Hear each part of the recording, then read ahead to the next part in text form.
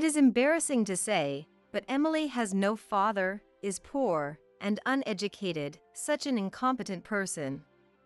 But our family will properly educate her. At my and my husband Mike's wedding reception, my mother in law Megan took the stage under the guise of giving a speech and said this into the microphone. She smeared on a thick layer of lipstick, curling her lips into an unpleasant smile. Our family runs a business. A woman raised in a single parent household? Who knows what kind of disorderly life she led? We can't have someone of such low quality as our daughter in law tarnishing our name. Her spiteful words, so out of place at such a joyous occasion, caused the room to buzz with unease. Fear of my precious wedding being ruined turned my body cold.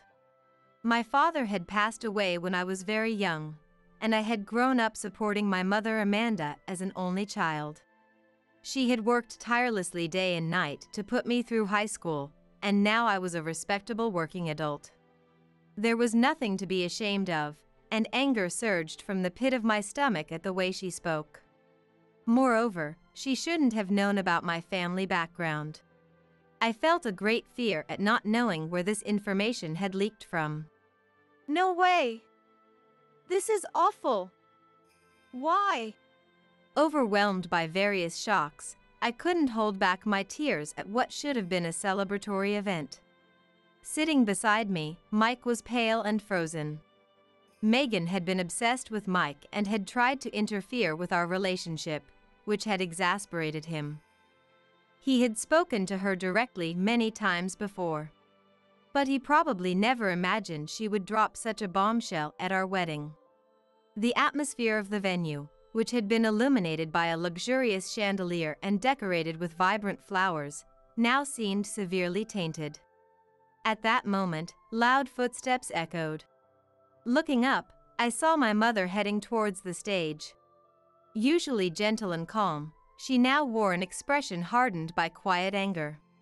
She ascended the stage, glaring at Megan. Then, she forcibly took the microphone from Megan's hand. Megan, who was still processing the situation, looked shocked as my mother spoke into the microphone in a low voice. The one of poor quality is your company. That company, we have decided to put out of business. My name is Emily. I am a 31 year old office worker. Mike, three years my junior, and I met at the same company. I was drawn to Mike's honest and gentle nature, and he said he was attracted to my hardworking attitude. His parents run a natural foods import and sales business, making Mike the son of a company president. It was said that Mike's parents sent him to work at a company other than their own to gain social experience. The company I work for is run by my mother and also deals in health and natural foods. In other words, they are competitors in the same industry. My father passed away when I was young, and my mother now runs the company as its president. I work as a systems engineer at this company and began working closely with Mike, teaching him about app development. Unaware of his own good looks, he was secretly popular within the company. However, he had little experience with relationships and was awkward, making an effort to find topics of conversation whenever we went for lunch. His efforts were endearing, and one day, with great determination, he said, Um, if you aren't seeing anyone right now, would you consider dating me? His earnest confession was charming, and I was touched by Mike's sincerity. I, too, had little experience with relationships, being focused on my career, and it was the first time anyone had confessed to me so straightforwardly. Despite my initial confusion, my affection for him outweighed it, and I agreed to date him.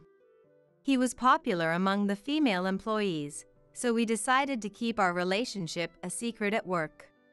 Thus began our quiet and fresh relationship, but soon dark clouds loomed over our days.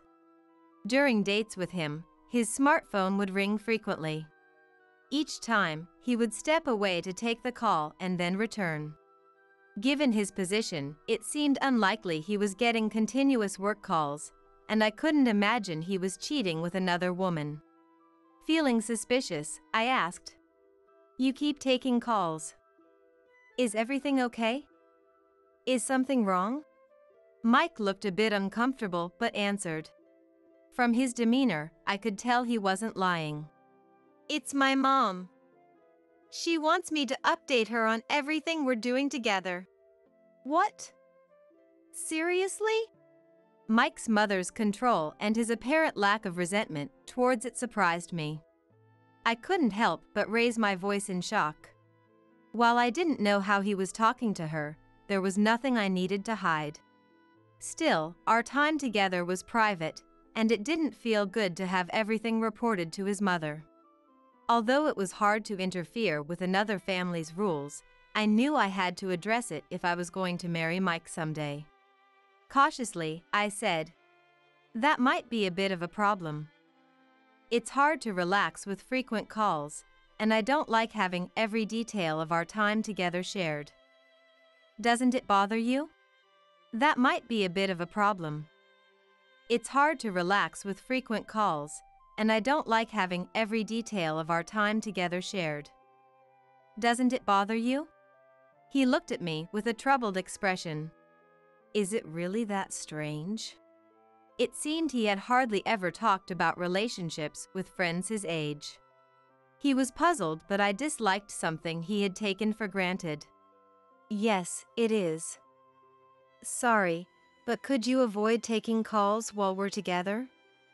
If you must talk to your mom, could you do it after we part?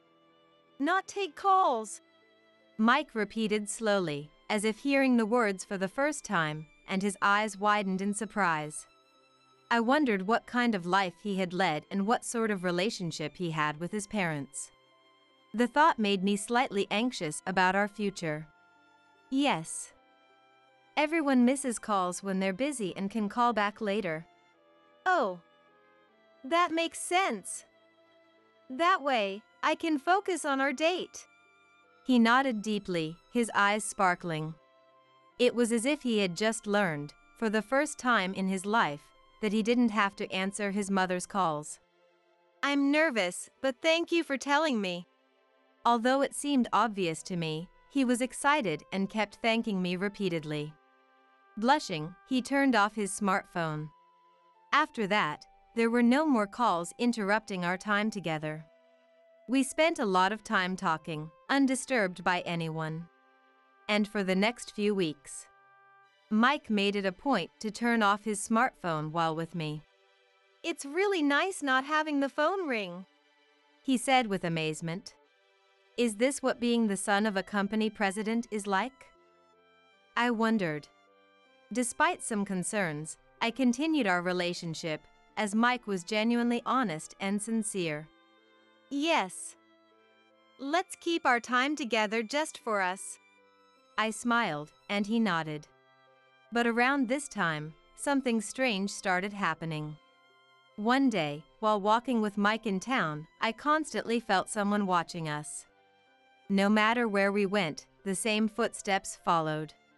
I was certain we were being tailed. Hey, is someone following us? I asked Mike, who then stiffened. This is creepy.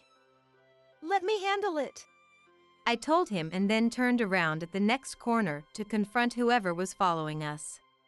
Then, the person who had been following us appeared easily. It was a middle aged woman carrying a bag with a prominent brand logo. Her heavy makeup and sunglasses suggested she was trying to hide her identity. Excuse me. You've been following us, haven't you? I confronted her. She twisted her lips painted in bright red lipstick, into a sneer. So, you're Emily? You're quite plain, aren't you? Hearing this insult from a stranger made me instantly angry, and then Mike turned around at the sound of the voice. In that moment, he exclaimed in surprise, Mom! What are you doing here? Why are you following us? What? Your mom! It was my turn to be shocked. The heavily made up woman in front of me was Mike's mother, Megan. The woman Mike called his mother took off her sunglasses, revealing her face, and smiled nastily. Mike, you haven't been answering my calls on your days off lately. You used to update me on your dates. So I followed you because I was worried. What has that woman been teaching you? Her obsession with her son was so strong that she resorted to stalking him. And her harsh words directed at me were unbelievable, especially coming from someone I had just met. I felt my blood rush to my head and stepped forward to confront her. Following us secretly is inappropriate. Weekends are private time, even for family. There's nothing suspicious about us, so please stop. She looked surprised and then put on a deliberately troubled expression. How rude. I'm his mother. What's wrong with a parent worrying about their child? He's my precious only son, and I can't have him dating an unsuitable woman. I didn't back down and tried to reason with Megan. Don't you trust Mike? That's not caring, it's just controlling. I work in the same company as him and live a serious life. If you understand, please stop following us. Perhaps taken aback by my outburst, Megan pouted like a child and left while mumbling something. Watching her walk away with slumped shoulders was somewhat pathetic but spying on our dates was going too far. As the tension released, I let out a big sigh. Mike, standing beside me, grabbed my shoulder and looked at me with shining eyes. Thank you. It's amazing that you stood up to my mom. It's nothing. I just said what was necessary. I'm glad she left. But her obsession is a bit much. As I looked down, Mike hunched his shoulders too. Yes, my mom has the strongest influence in our family. She can't stand not knowing everything about us, and we've always just accepted that. I knew Mike was the son of a rival company's president. Megan might be the type who needs to control both the company and the family. That night, Mike thanked me repeatedly for confronting his mother and then proposed to me. I've always been frustrated with my mom. She knows everything about my private life, and I thought that was normal. But you made me realize I didn't like it. Thank you. With your intelligence and strength, I feel like my life can be freer. His sunny smile lifted my spirits as well. I'm not as remarkable as Mike thinks. But if marrying Mike leads to happiness, I want to build a future with him. Yet, I still had concerns. Thank you. I want to spend my life with you too. But I'm worried about your mother. Marriage involves both families, and I'm not sure how well I'll get along with your family. Mike took my hand and made a promise. I'm sorry to worry you. My mom is strong willed, and she might be overbearing in the future. But no matter what, I'll always be on your side. His clear promise reassured me, and I nodded. When you have concerns about your future mother in law, the biggest worry is that your husband will side with her. But if Mike promised to support me, I felt I could handle it. Okay. Thank you. Let's take care of each other from now on. And so, we officially became engaged. The first thing we did was inform my mother. The day before, Mike had stopped by his parents' house for some reason, but it didn't affect our visit to my family. We took the bus to my parents' house, which wasn't far away, and my mother warmly welcomed Mike. Emily has always worried me. She's been working so hard, and I was a bit concerned. But meeting you has been wonderful. From now on, live for your own happiness. My mother, looking apologetic, blessed us with a big smile. I had told her in advance that Mike was the son of another company's president, but it didn't seem to be an issue at all. Following this, I told Mike about being raised in a single parent household and how my father had died in a traffic accident at work when I was young. Family background can significantly impact marriage. The thought of Mike breaking off our engagement upon learning this made me tremble as I waited for his response. He listened to my story with a sad expression throughout and then supported my back. You've been through so much and worked so hard. From now on, I'll be here for you. Let's be happy together. His words brought tears of relief. Mike wiped away my tears, and my mother watched us warmly. With him, I felt I could spend my future in peace. Thus, our visit to my family ended. And later, the day came to visit Mike's parents. Yes, the house with his mother, Megan. As expected, Megan remained in a bad mood the entire time. Even at home, she wore heavy makeup and a sweater with a large brand logo. I need to get back to work as soon as this is over. So let's keep it short. She said coldly, placing the coffee roughly on the table. Sure, a president's work is busy. But there are better ways to say that. At the very least, my mother, also a president, never treats guests rudely, whether at work or at home. I'm sorry for the inconvenience. I apologized superficially. Unlike your laid back company, we're constantly working to expand our business. We cut costs to the bone, increase sales, and take on new ventures. I'm the one managing and controlling everything. Of course, Megan knew my mother was the president of a rival company. That's why she made such sarcastic remarks. Megan's business acumen might be impressive, but that doesn't mean we're slacking off. Our company's policy is to build trust steadily by valuing employees and customers. Mike's father, Joseph, was also present but only smiled wryly and sipped his coffee. Apparently, as Mike said, no one else had a say in Megan's presence.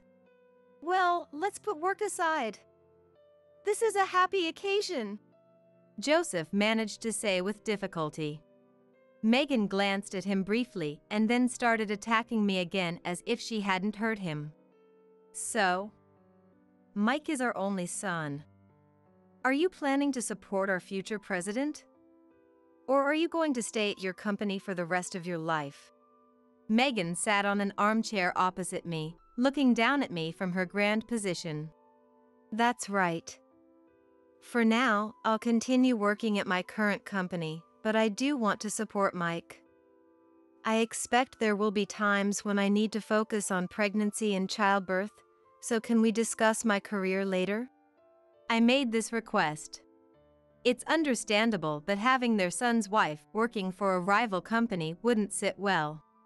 However, I still had a strong desire to work hard at my mother's company.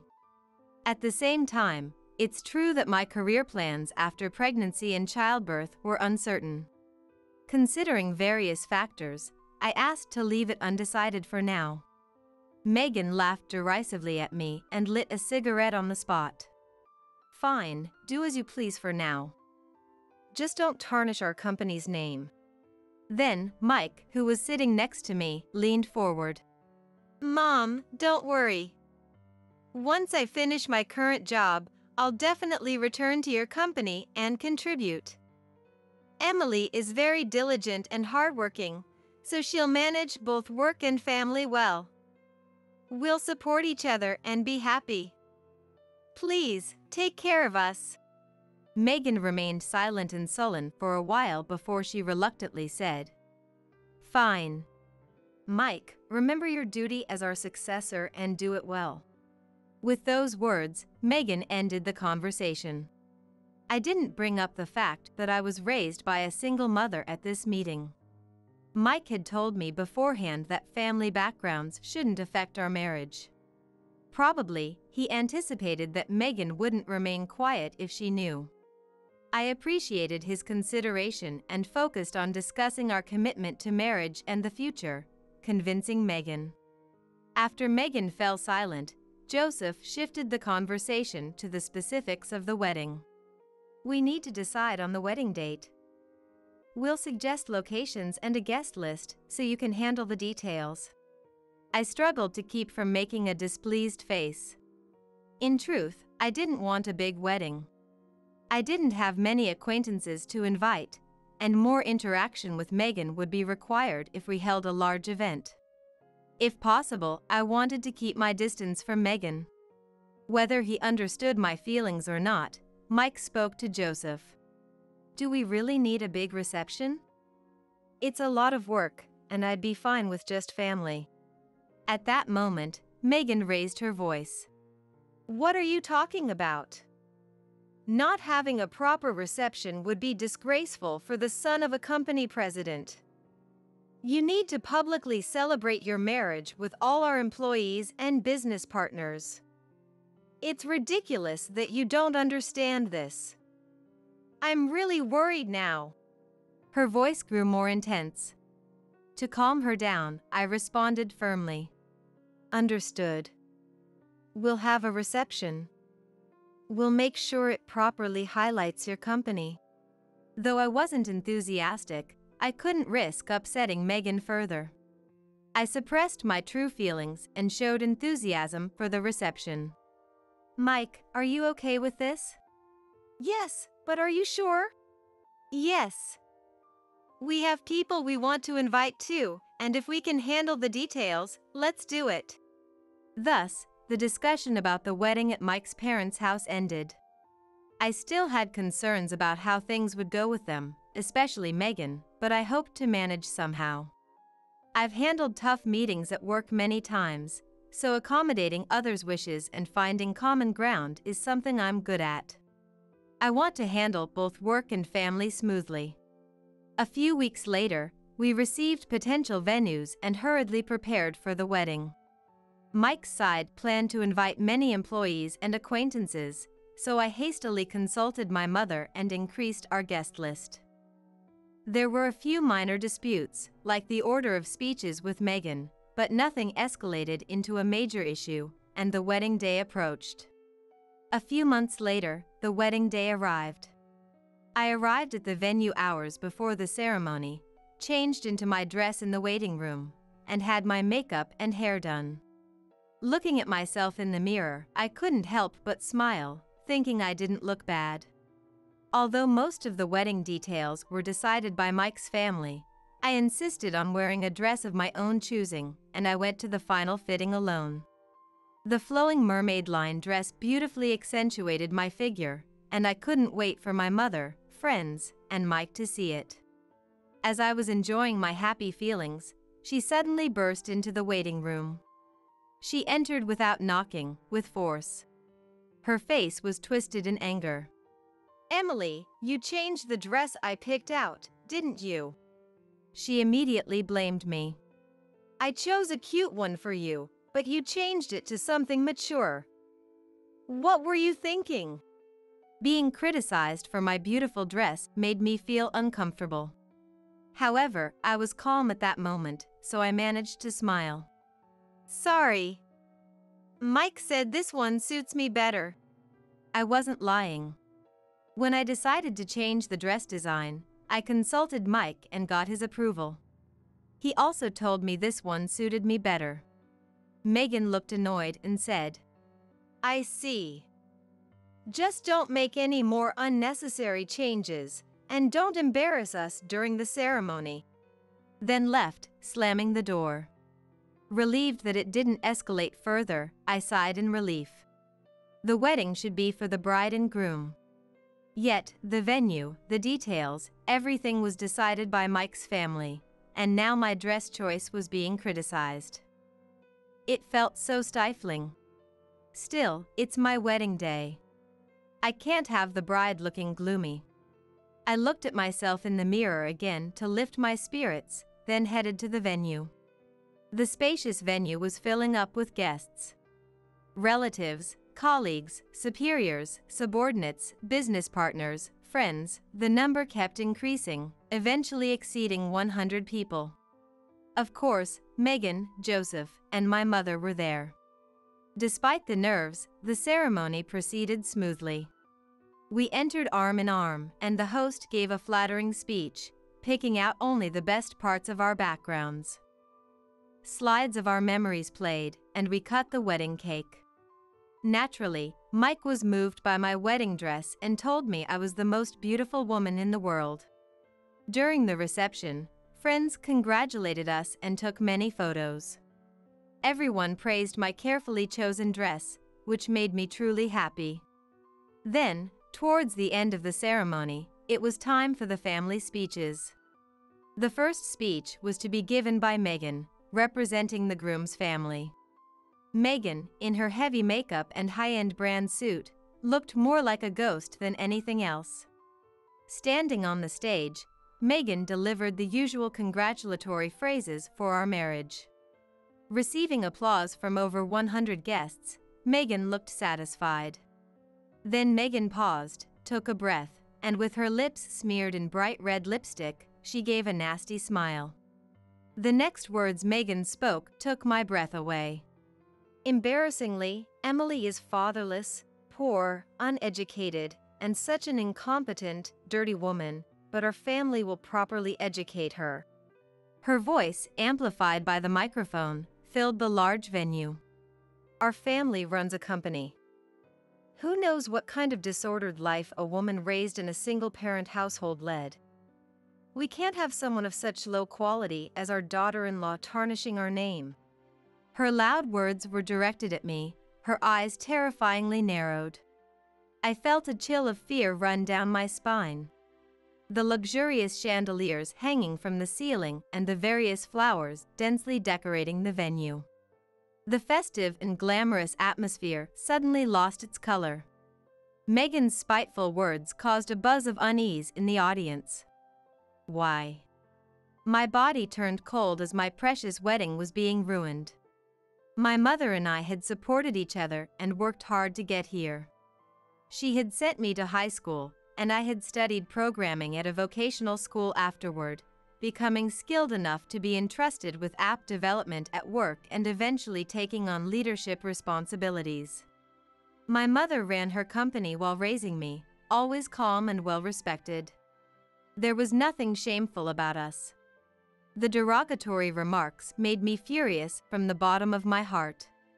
How did she know about my family? I hadn't told her. The fear of not knowing where the information had leaked from gripped me. This can't be true. It's awful. Overwhelmed by various shocks, I lowered my head and tears fell at what should have been a joyous occasion. Sitting beside me, Mike was also pale and frozen. He hadn't expected such a bombshell to be dropped at our wedding either. How can I restore the atmosphere? I need to think, but my mind isn't working.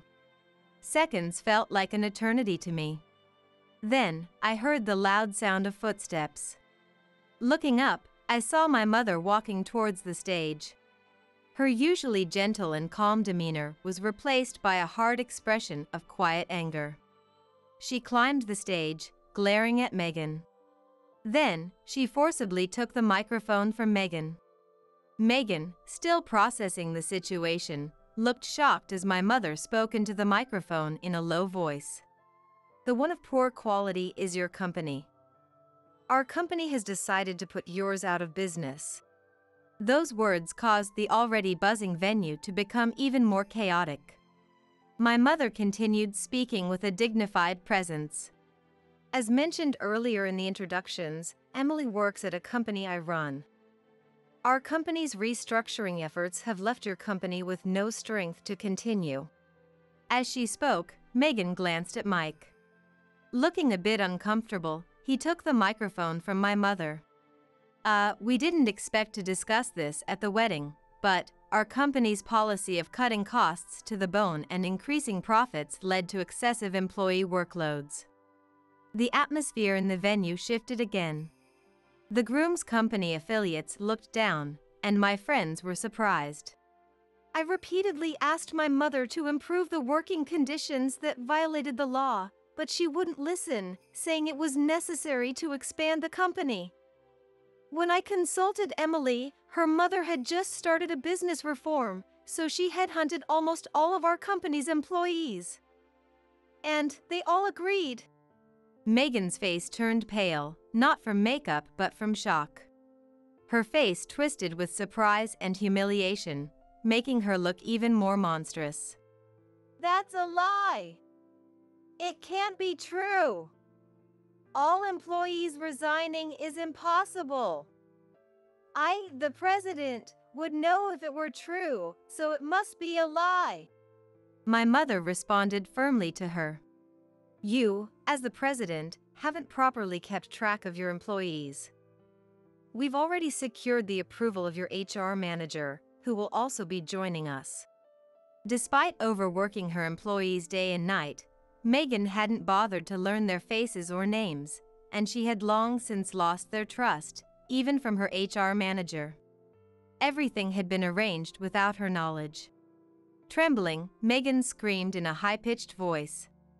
Stop saying ridiculous things. I get it. You're embarrassed and bitter because you don't have a husband. That's why you're insulting me at this important occasion. My mother, looking exasperated, calmly said to Megan, That's not true. You are the one who tried to ruin this ceremony first. That's not true. I was just trying to properly educate this girl, who grew up in a fatherless household, unrefined and unintelligent, with no proper upbringing, to be a suitable future wife for the president. At that point, Joseph approached. Standing between Megan and my mother, he tried to calm the situation. Now, now, both of you, let's stop this. This is a joyous occasion. We can discuss company matters later. What Joseph said was reasonable, and both Megan and my mother fell silent with sullen expressions. As they started to return to their seats, a man suddenly appeared near the stage. We are also responsible for not addressing the illegal labor practices sooner. But Megan and Joseph, no one can excuse your embezzlement. It was Nicholas, an executive at Megan's company, who spoke in a low voice. He was the person handling HR mentioned earlier. Joseph looked shocked and glared at Nicholas with a face twisted like a demon. Megan ground her teeth with a terrifying expression. The accounting department reported every month that the company's books didn't match. Even though sales were up and costs were down, the profits didn't add up. The president always skipped meetings for business trips, so you might not have known. Last month, we discovered on security cameras that you were taking company funds. This caused the audience's murmurs to reach a peak. Embezzlement? I can't believe it. Such voices were clearly audible from various places. My mother had also heard about the embezzlement while headhunting Megan's company's employees. She hadn't intended to bring it up here, but she had informed each employee individually. She shouted with a red face. Stop saying nonsense. Do you have any idea how hard I work to increase the company's profits? Enough already. Her shrill scream was the last straw, and the reception was ultimately cancelled. My in laws fled to the waiting room. The host hurriedly announced the cancellation, and the guests left disappointed. I could only apologize to a few friends and promise to see them again. Then, Mike, my mother, and I went to the waiting room where my in laws were hiding. The door wasn't locked, so we opened it and immediately saw their devastated faces. Mike was the first to speak. Mom, it was supposed to be a wonderful reception. I'm really disappointed.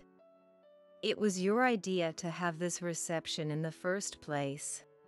Despite his words, they said nothing. I approached them and looked them in the eyes as I asked. I didn't tell you about my family, especially that my father is not around. How did you find out? She glared up at me and confessed the reason. The day before Mike went to report to Emily's family, I called him to our house. That's what I put a bug in his bag. What? No way! Mike exclaimed in surprise. Thinking back, her behavior had been suspicious since she followed us.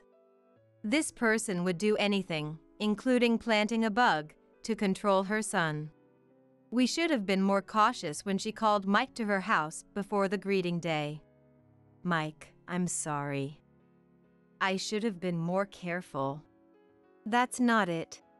Mike firmly stopped me as I tried to speak. Emily did nothing wrong. It was I who should have been more cautious then. Despite the situation, I felt tears welling up from the joy of Mike defending me. And those tears turned into tears of fear. Megan's relentless obsession with Mike. The stalking during our dates. And now, even planting a bug in his bag to spy on our family, this is just too much. No matter how careful I am, and even if Mike stands by me, I can't live in peace if this continues. If we get married and start our life together, she might secretly install surveillance cameras all over our place. I can't endure a life like that. As I trembled in fear, my mother, who was with us, spoke. Neither of you did anything wrong. It's you who's gone too far. I understand being concerned about your child. But they have their own privacy too. What you're doing is a violation of their human rights. My mother spoke in a calm yet strong tone.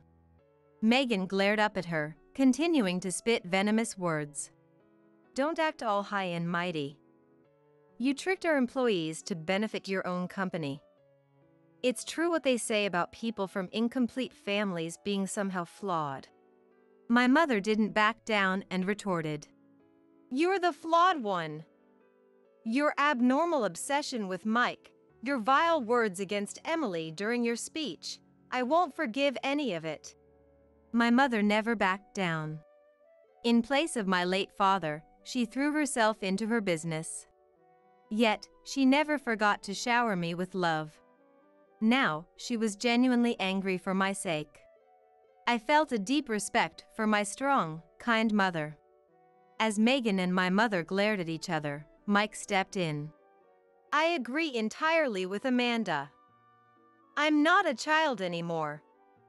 I don't need your surveillance. You ruined our wedding with your prejudice and malice. You hurt Emily deeply. I can't forgive you. From today, I'm cutting ties with both you and Dad. She looked shocked, tears welling up in her eyes. Why? I was only worried about you. I wanted you to live a proper life. Is that so wrong? Mike didn't waver and denied her. Even if your concern was genuine, your methods are wrong. As for the company, neglecting employee management and welfare for cost cutting, and the embezzlement, I can't forgive it as a working professional. Mom, you always have conspicuous high end bags and clothes, but weren't those bought with embezzled money? No. I'm the president. It's normal to earn enough to buy such things. Even so, the mismatched company books and surveillance footage are facts. It's over. We're no longer family. I won't inherit the company either. I'm cutting ties and marrying Emily. Faced with her son's ultimatum, her face was streaked with tears. Her heavy makeup smeared, making her look grotesquely disheveled.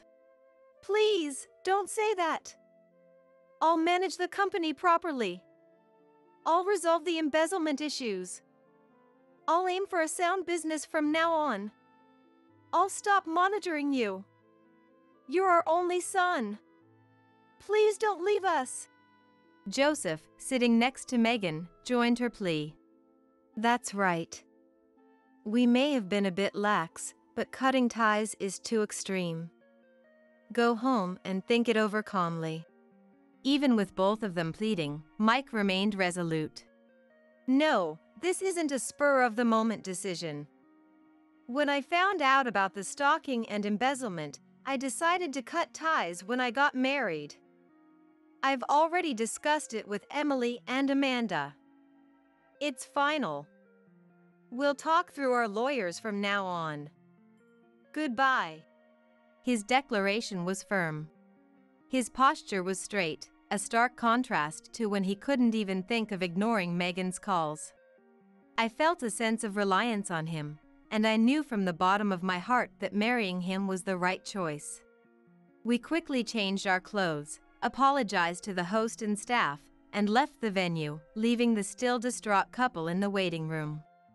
After that, Mike successfully severed ties with his parents. At the same time, he looked forward to our new life together with excitement. I also heard from Mike that his parents were being tried for embezzlement. Apparently, his accusation about them buying brand name items with embezzled money was correct. They had squandered the company's money on expensive purchases and trips, and even incurred debts. According to the executive who exposed them at the wedding, the company's finances were in such a mess that the books couldn't be publicly shown, leading to a major scandal.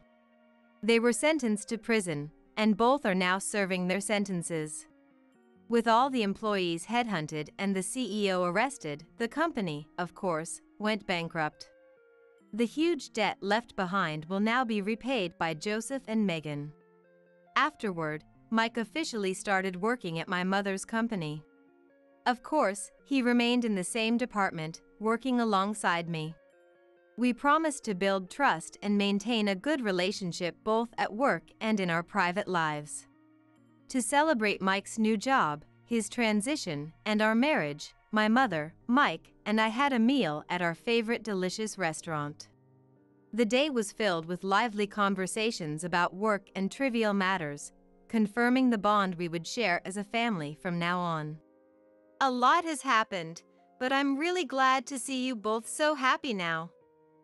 That's what matters most to me. And remember, honesty and sincerity are paramount in both work and family. I know you two will be fine, but just don't forget that. My mother said jokingly with a glass of wine in her hand. She looked cheerful yet dependable. Beside her, Mike, who had matured significantly over the past few months, nodded with a big smile. Seeing the two of them, I vowed to cherish them forever. Later, my mother expertly managed the company, which had seen a significant increase in employees boosting sales and expanding to open a new branch the following year. At home, Mike and I got along well, and at work, we took on the responsibility of the company's system management as a trusted duo, earning great trust from our colleagues. Someday, we might have a child together. That would surely bring even more joy to my mother. With such thoughts in mind, we continue to lead happy, fulfilling days filled with smiles both at work and at home. It was my husband William's birthday party, and we were spending the day together with our son's family. Our grandson Adam brought out a rolled up sheet of drawing paper as a present. Happy birthday, Grandpa! William received it, saying, Thank you. He absolutely adores Adam. The drawings he receives from Adam are always framed and displayed throughout our house. On this special birthday, a present from Adam would be particularly meaningful for William. I was excited to see how overjoyed he would look. With a loving smile, William slowly and carefully unrolled the drawing. However, the moment he saw the contents of the gift, he crumpled it up. Then, he threw it aside. Hey, what are you doing? I hurriedly picked it up and smoothed out the crumpled drawing. Upon closer inspection, it appeared to be a portrait of him. What do you think you're doing, William? Adam must have put so much effort into drawing it, and I couldn't believe William would treat it like this. I lashed out in anger. He should have known that Adam drew it thinking of him, so why would he do such a thing? However, William remained silent, staring intently at me. Can't you see? As he said that, he grabbed the hem of Adam's shirt and lifted it up on the spot. My name is Natalie. I'm a 55 year old housewife. I met my husband, William, through a friend's introduction and retied the knot after about two years of dating. We've been walking together for nearly 30 years since then. William has a serious personality, but at the same time, he has a childlike side.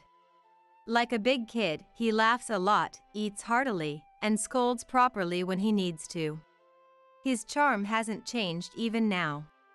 As I pulled out an old album and flipped through it, a photo from when our son was born caught my eye. Gazing at the picture of our newborn son, I recalled William's words from that day.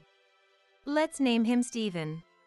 On the day our son was born, he said that while looking at the sleeping baby nestled beside me. I've been thinking about it for a long time. Since I can't give birth to our child myself, I wanted to at least put all my effort into choosing a name. I love that earnest side of him.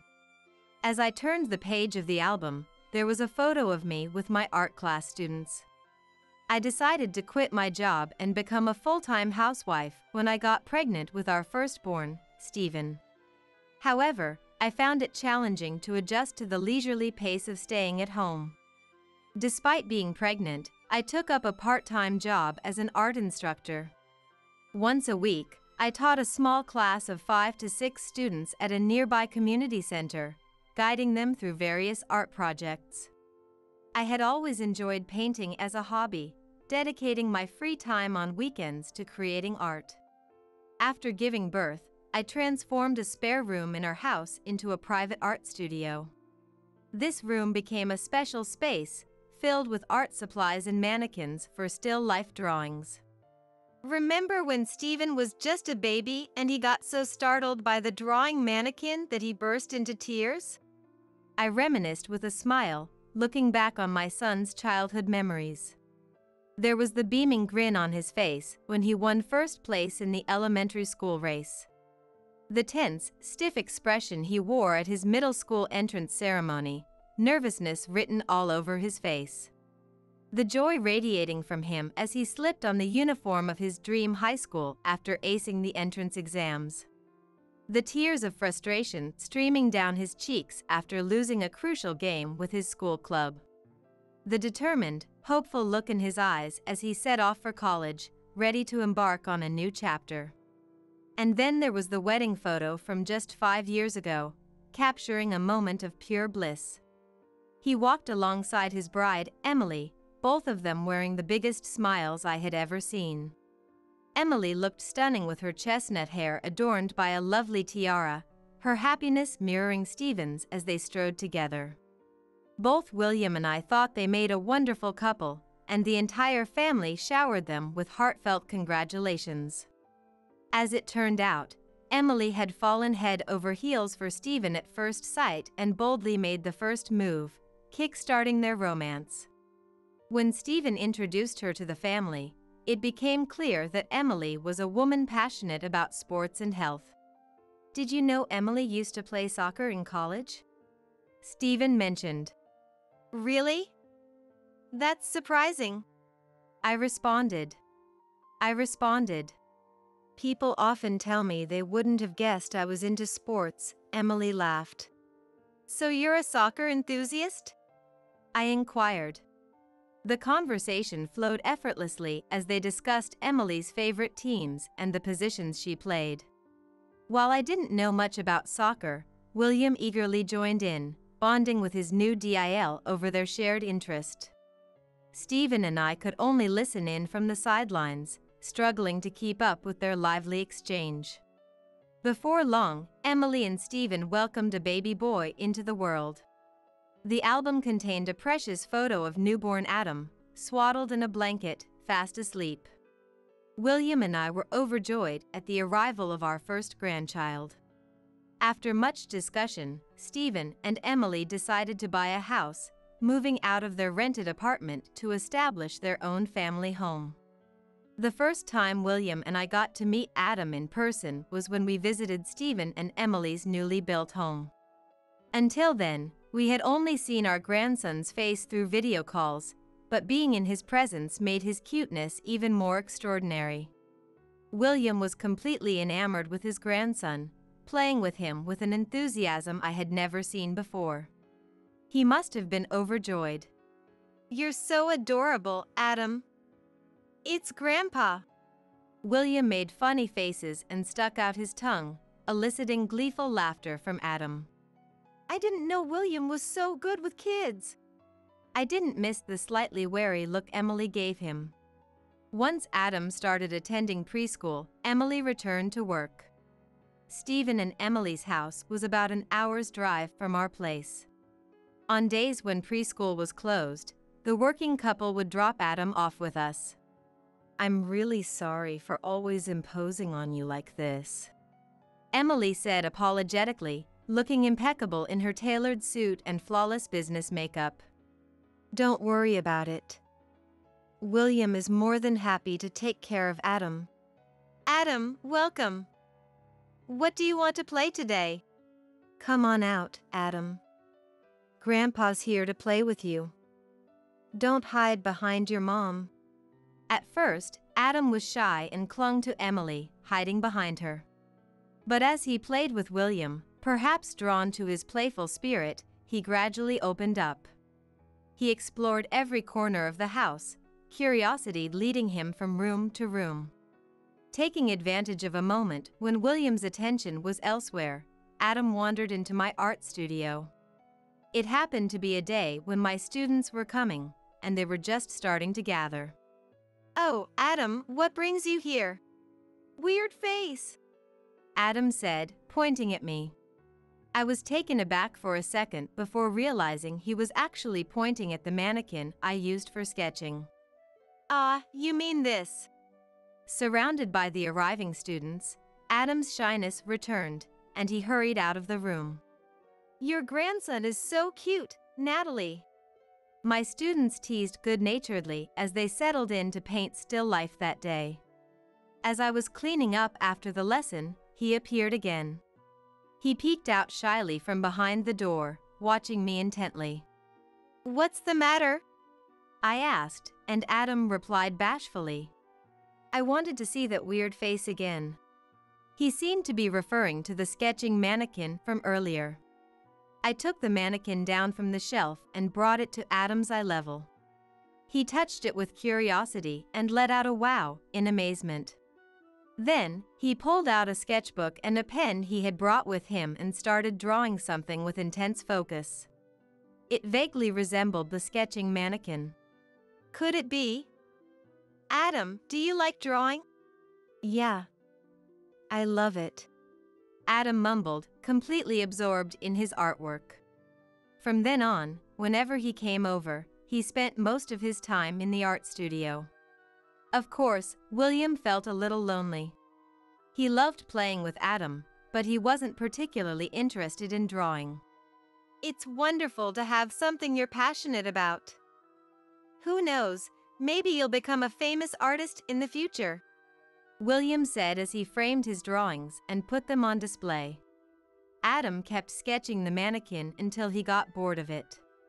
None of my students showed as much dedication to their art as he did. Adam, how about using this color here? I suggested, and he eagerly filled in the area with the crayon.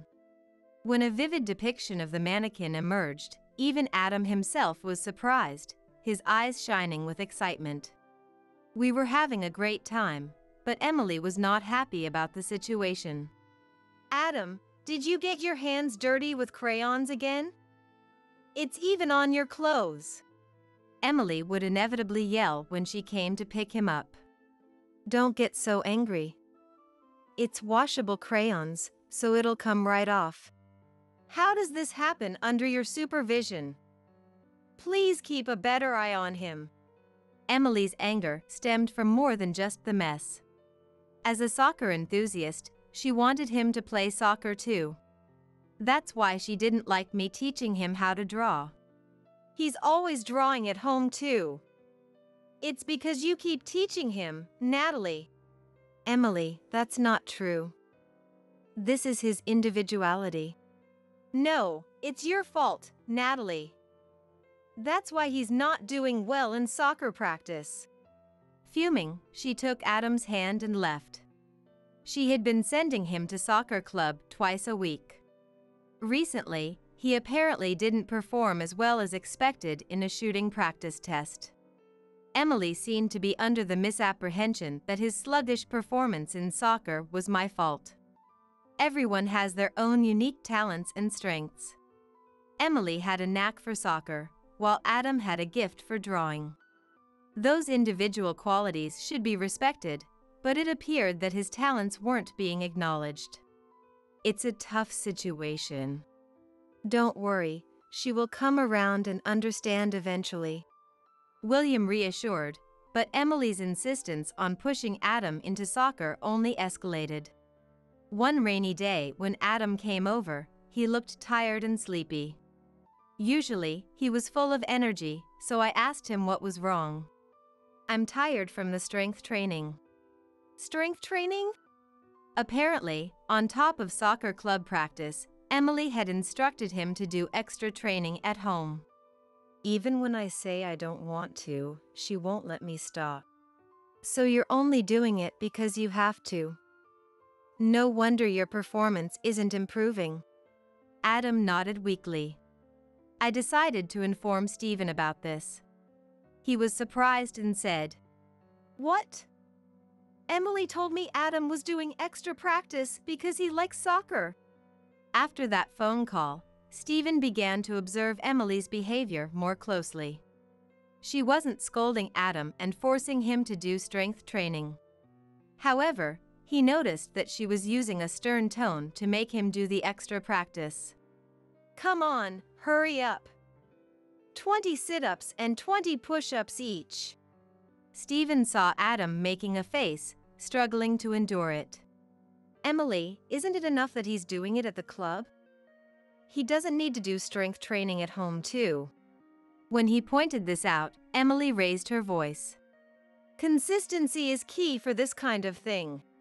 But he looks like he's really suffering. Of course, strength training isn't easy.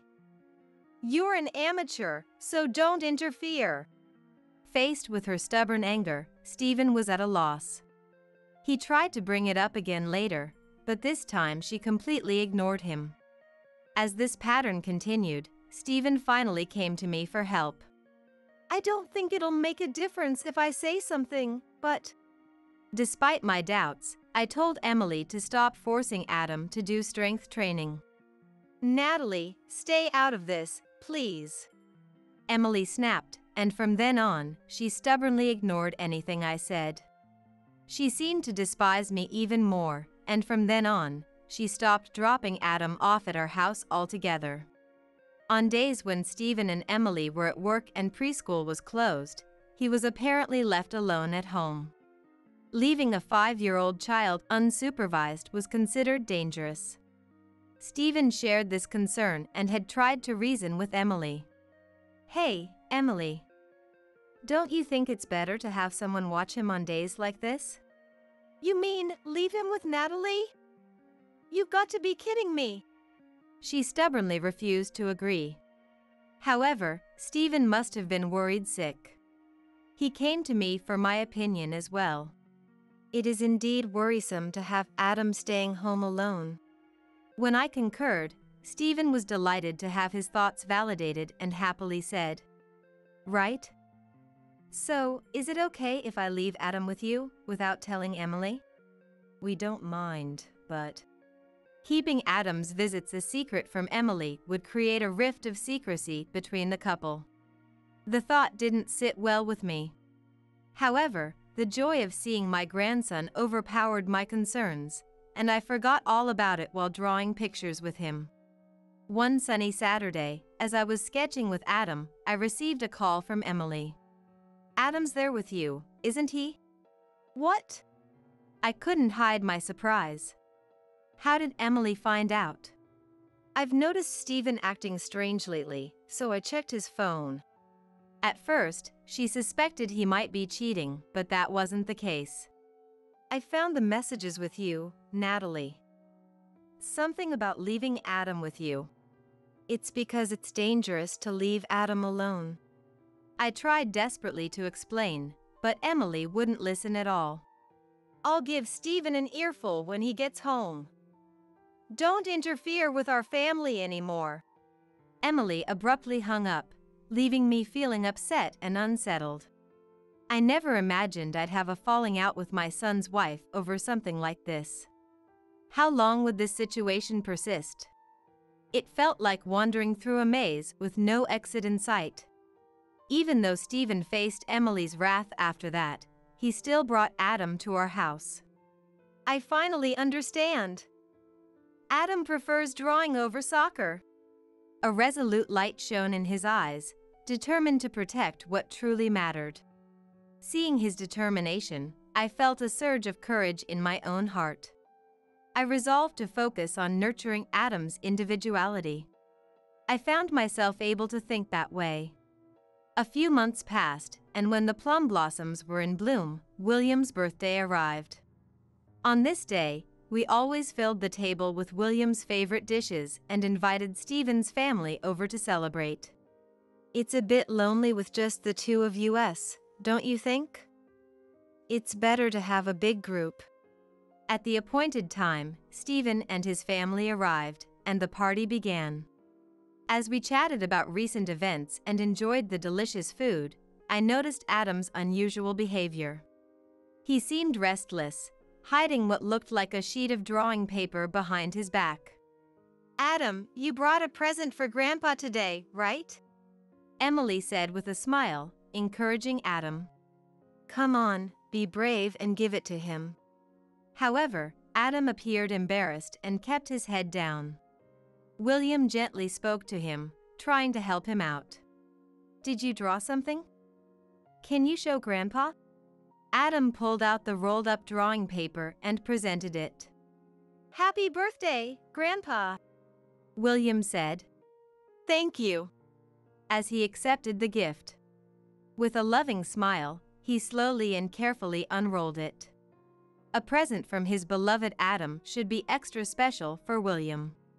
I was curious to see what was drawn and tried to peek, but at that moment. The instant William saw the picture, he crumpled it up. Then, with trembling hands, he crumpled it further and threw it away. Hey, what are you doing? I hurriedly picked it up and smoothed out the crumpled drawing. Upon closer inspection, it appeared to be a portrait of William. What are you doing? Apologize. Adam must have put his heart into drawing it, so how could William treat it like this? I lashed out in anger. Adam had surely drawn it thinking of William, so why? William remained unperturbed and stared intently at me. He had a habit of staring at people like that when he was quietly angry. Can't you see? Saying that, William grabbed the hem of Adam's shirt and lifted it up on the spot. Whoa! Adam was startled and nearly lost his balance, but managed to steady himself. Beneath the lifted shirt, Several small bruises were visible. What is this? I looked at William. He pointed his chin at the drawing paper, his eyes urging me to take a closer look. A portrait of William was sketched on the paper. However, upon closer inspection, the positions of his moles and the shape of his nose were slightly off. There were also blue spots on the body part below the portrait. Moreover, in the corner of the paper, the words help me were written in small letters. I had a sinking feeling. Could these blue spots represent bruises on his body? Was the person in the portrait doing something to him? As these thoughts crossed my mind, I glanced at William and he nodded deeply. It seemed we were thinking the same thing. Someone was harming Adam. William had sensed the danger to his beloved Adam and crumpled the drawing in anger. How could this be happening? As William trembled with rage, Stephen asked in a puzzled tone. Dad, Mom? What's going on? Stephen also came over to Adam and gasped at his painful appearance. Adam? How did you get those bruises? I must have turned pale. With a sinking feeling, I showed Adam's drawing to Stephen. He was shocked too. This drawing isn't Dad. He exclaimed. What's the meaning of this? Tell us the truth. Adam burst into tears, startled by the commotion. Seeing this, Emily rushed over and hugged Adam protectively, saying, Stop it! Those bruises are from soccer practice. Mommy is a liar. For the first time, he rejected Emily and pulled away from her arms. You and the coach bullied me. Stephen, William, and I were all confused. I don't even know the person in the portrait. Mommy made me draw it. After saying this in one breath, Adam started crying again, wailing loudly. Emily, looking flustered, stammered. Well, you see. While all this was happening, Adam revealed everything, bit by bit. Emily had instructed him to draw a portrait of Grandpa for the birthday party. However, the person in the photo she showed him was an unfamiliar man. When he refused, saying he didn't want to draw it, she insisted that he draw that man's portrait. He was told that this was his new grandpa and was ordered to give the drawing to William at today's birthday party. After hearing everything, the gazes of William, Stephen, and myself all converged on Emily at once. Everyone's eyes were demanding an explanation, asking what was going on. When Emily realized that everyone there was on Adam's side, she sighed in resignation. I found someone else to be his new father. I wanted him to think of this man as his dad. Him? You mean you were cheating? I had already decided to be with him. She spoke in a flat tone, a malicious smile playing on her lips. Emily said that she deeply resented the fact that William and I were seeing Adam. She thought that we were taking him away from her. You two love Adam so much. I thought that if you were rejected by your grandson, it would hurt you. She had intended to brainwash him into believing that her new boyfriend was his father. Then, by making him reject his grandparents, she wanted to laugh at the sight of us being hurt by him. If Adam rejected us with his own words, she could also blame it on him. And she had planned to use that as an excuse to ask for a divorce. However, Adam had not accepted Emily's boyfriend to the extent that she had hoped. This was something that even Emily hadn't anticipated. That's why this plan failed. Seriously, what a useless child. She glared at him resentfully. I don't need any of you here. With those words, she stormed out. Only Stephen chased after her. Emily, wait! What do you mean? You're going to be with your boyfriend? But a few minutes later, he returned, looking dejected. Emily had jumped into a passing taxi and sped away. Later, a text message arrived on his phone. I'm going back to my parents' house. That was all it said, so he had turned back. In that case, let's contact Emily's parents and have them keep an eye on her. At William's suggestion, Stephen nodded in agreement. A few days later, on a day that was warm for the season, almost spring like, they called Emily over to the house for a discussion. The four of us William, Stephen, Emily, and I were gathered in the living room. I want you to take a look at this. Stephen tossed an envelope containing documents onto the table. It was a report from the private investigator he had hired to look into Emily's activities. Ever since Adam started attending soccer club, Emily's appearance had gradually begun to change. At first, we didn't pay much attention to it. However, Stephen became suspicious when she frequently visited beauty salons and changed her makeup. What was even more decisive was when he accidentally saw her exchanges on her smartphone. The person she was talking to wasn't a friend or acquaintance, but a man he didn't know at all. I was shaken when I saw messages like, I want to see you again and I like you with heart marks. Stephen said in a cold manner. Looking at the investigation results, it turned out that the man was a coach from the soccer club. Emily stared at the documents without trying to hide anything. I was planning to tell you after Dad's birthday party, when the timing was right. Stephen spoke in a matter of fact tone, but like William, he was quietly angry. I regret not bringing it up sooner. Emily said nothing. After she ran away, we took Adam to the hospital to have his bruises examined. They had turned blue and red, and Adam told us that they were painful.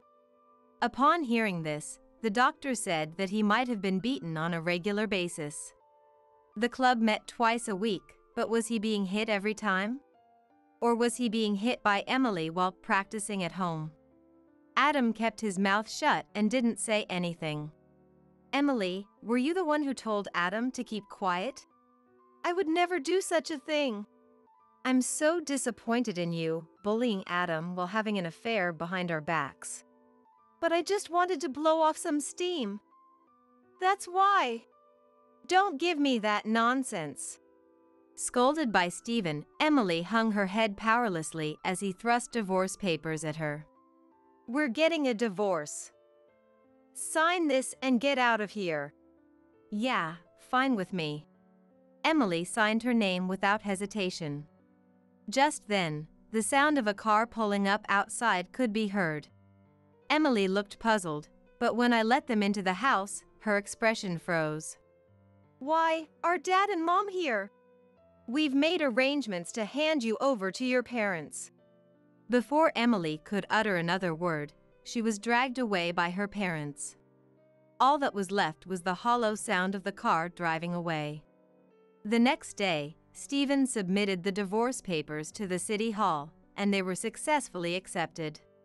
He then asked an acquaintance to introduce him to a lawyer and demanded compensation from Emily and her lover. After paying the compensation, her affair became known at her company, making it uncomfortable for her to stay, so she quit. The man she was involved with didn't get off with just paying compensation.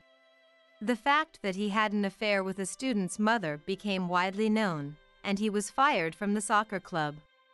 It was a relatively large club in the area, so rumors spread among the club members and the parents involved. The former coach became unemployed, and even after getting together with Emily, he is dependent on her for support. She is the one supporting him, working herself to the bone as a supermarket cashier and such. Occasionally, we receive messages from her saying, I want to see Adam. Both Stephen and I have decided to ignore those messages. She has been served with a restraining order to stay away from Adam. We probably won't respond for about six months. Stephen sold the house he had bought and moved in with Adam. Adam is now living with William and me. Dad, Grandpa, look. Oh my. That's Grandpa, isn't it? Let me see. Adam proudly unfolded the finished drawing to show us. On the paper, William's smiling face was drawn large. The positions of the moles and the shape of the nose were just like William's. You've drawn it so well. Let's frame it. As William got up from his seat, Adam laughed. He looked so happy. The bruises on Adam's body healed remarkably after he came to live with us. The doctor had the quick thinking to take x rays to check for fractures. I still vividly remember the relief we felt when not a single crack was found. He quit the soccer club and is now thriving both at preschool and at home. At home, I teach him drawing, which he loves, while watching him grow. Although the wounds on his young body have healed, I suddenly worried that there might be some lingering scars on his heart. Next, I'm going to draw Granny, he declared. Watch me, he said as he filled the drawing paper with my face. His free use of colors and gestures revealed a child's uninhibited sensibility. As I observed him, I laughed, realizing that my worries seemed to be unfounded after all. Really? Being late because you were helping a pregnant woman on the side of the road is such a cliche excuse. Are you kidding me? On the day of my son's wedding, I made a terrible mistake. In my desperation to get a pregnant woman in labor into my car and to the hospital, I completely forgot about my son's wedding. Stella, who was supposed to become my son's wife, was furious, breathing heavily in a way I'd never seen before, her facial muscles trembling with anger. This was entirely my fault. I need to apologize sincerely. Relatives are walking towards the reception venue. The sound of stones hitting the ground echoes in my ears. Stella looks at my dress, pointing at various spots with a puzzled expression. It's because when I helped the pregnant woman, her water broke and stained my dress. Unbelievable. How can you show up looking so dirty? And the smell. Are you happy ruining my wedding? I'm so sorry, Stella. I'll get changed right away and try to make it to the reception in time. I don't care if it's true or not, but putting others first like this is unacceptable. You're a failure as a parent. Please leave immediately without showing your face to Joseph. Stella, in her dress, removed a hair ornament she was wearing and threw it at me. The hair ornament must have been light and landed at my feet. If it were me, I'd come here no matter if someone had collapsed in the middle of the road or if there was a car accident. Today is that important of a day. Her anger didn't subside, and she grabbed stones from the ground and threw them at my face with all her might. Ouch, Stella, stop. I shield my face and get into my car. After hitting the car's windshield hard, Go home. Stella yelled. I grip the steering wheel. It seems I won't be able to attend my son's wedding, and my relationship with Stella is completely broken. But, if my son Joseph can be happy, then this is for the best. It's all my fault today. I should just go home. Just as I was thinking this, there was a small knock on the passenger side window. It was a very unexpected person. My name is Scarlett.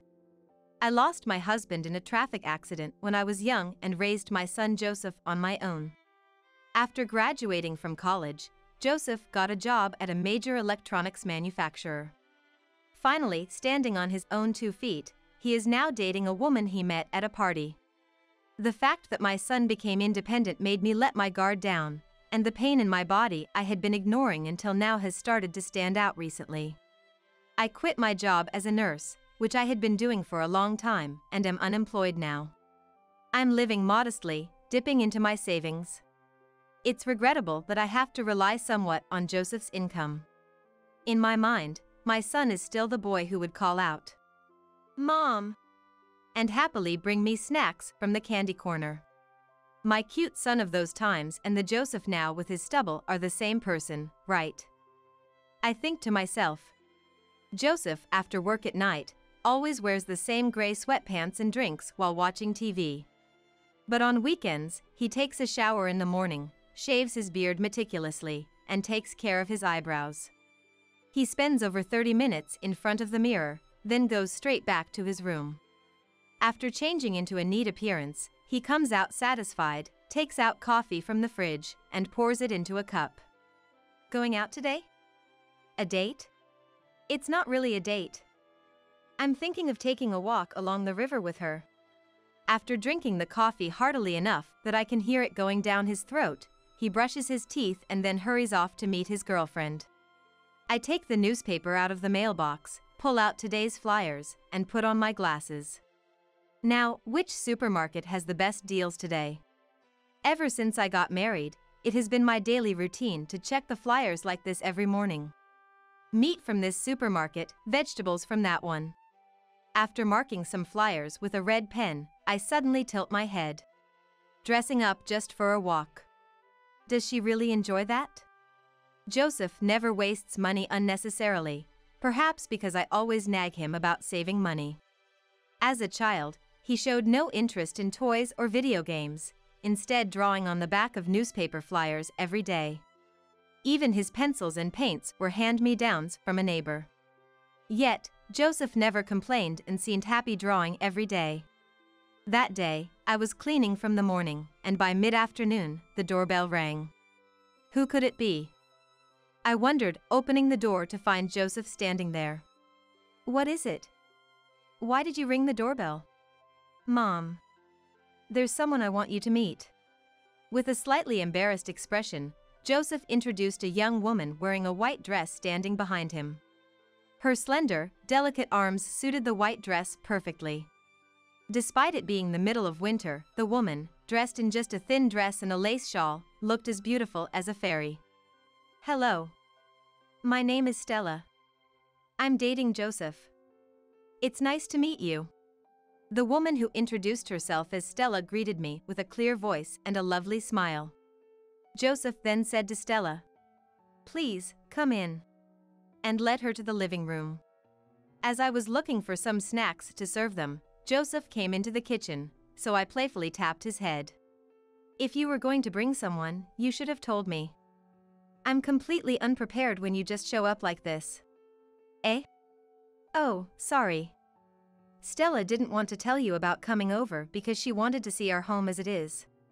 As it is, huh? I'm relieved I cleaned up in the morning. As we talked a bit, Joseph, with a serious look, told me he was considering marrying Stella. Joseph is over 30 now, and I had been bracing myself for a day like this to come. Still, the thought that the days of just mom and son might be coming to an end. It makes my heart ache a bit. Suddenly, Joseph's mobile phone rang, and he excused himself, saying, Sorry. It's a call from work and left the room. Left alone with Stella, we chatted about trivial things until Stella pointed at a painting of the sea on the wall drawn by Joseph. Is that one drawn by Joseph? Yes, it is. It's a bit see through on the back because it's drawn on the back of a flyer, but it's a nice painting, isn't it? Stella stood up to take a closer look at the painting Joseph had made. A blue sea and a blue sky. Nothing else, just an expanse of sea painted entirely with blue paint. The blue sea spread out with just blue, and in the blue sky, two small clouds floated. Joseph and I went to the beach for a swim just once when he was a child. I explained to Stella that this was a painting of the sea from that time. After silently staring at the painting for a while, Stella sat down quietly in front of me and said, This painting is very sad. Eh? Really? Oh, I always thought it was a happy painting of us playing at the beach. Is that so? Normally, if you go to the beach, wouldn't you draw yourself swimming? Stella said this to me as if making a clear statement. In this painting of the sea, there is only the blue sky and the blue sea. She declared that surely there were no happy memories of the beach, just a record of the first time seeing the sea captured in the painting. And on a flyer, no less. She criticized me for not even providing proper drawing paper, despite his talent for painting. Joseph is a wonderful person. You should have given him a richer life. He has talent in his painting, and you are surely the one who crushed it. That's not. Joseph never said he wanted to study painting seriously, I thought it was just a hobby. Surely he understood from a young age that the household was poor. Being raised in a single parent home must have been hard for Joseph. Stella took out a clean white handkerchief from her bag and pressed it against her slightly moist eyes. Until Joseph returned from his call, Stella explained how Joseph has always been frugal. Listening to her, I was filled with remorse from the bottom of my heart. I was a saver, and I had instilled that in Joseph. Having been like this since childhood, perhaps Joseph, even as an adult, naturally practices it and is called a saver by everyone. Maybe Joseph had been complaining to Stella about not being able to afford luxuries as a child. Perhaps I was indeed a terrible mom, as Stella said. Joseph came back after finishing his call. Stella, as if forgetting all our previous conversation, asked if there was an old album of Joseph's childhood or something. While looking through the nostalgic old albums, Joseph and Stella talked happily about what photos to use for their wedding. Stella seems not to have a job and lives at her parents' house, helping with household chores. Thrifty Joseph and Stella, who lives with her parents, seem to make an effort not to spend money, often walking in the neighborhood park. Looking at photos of Joseph when he was young in the album. We walked here the other day. She says with a gentle smile, truly angelic. A whole year was about to pass since our first meeting. Joseph and Stella continued to date smoothly, and from what I've heard, they got along well without any major arguments. Sometimes when they came to visit, Stella would look at the painting of the sea on the wall and murmur sadly. Poor thing. So one day, I took it down from the wall and hid it in a corner of a shelf. I wanted to avoid anything that might worsen Stella's impression of me. Later, I had the chance to meet Stella's parents. Stella's parents seemed kind and gentle, impressed by how I had raised my son alone after losing my husband at a young age. Stella, not seeming amused, listened in silence. Even now, with the wedding imminent, a heavy atmosphere lingered between me and her. Then came the wedding day. The weather forecast promised clear skies all day.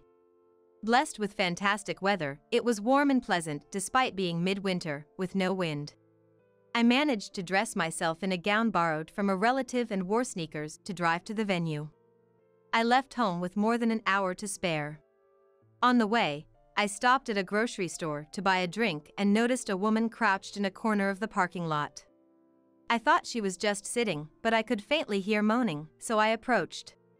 Are you okay? The woman sitting didn't respond to my voice. Instead, she was breathing heavily, desperately gripping the hem of her dress. I realized she was pregnant and that she had just gone into labor. I was a nurse once, so I've seen this situation many times. In as calm a voice as I could muster, I smiled and said, Can you get into my car? I'll take you to the hospital. The pregnant woman looked surprised, but then told me her regular doctor was at the city hospital.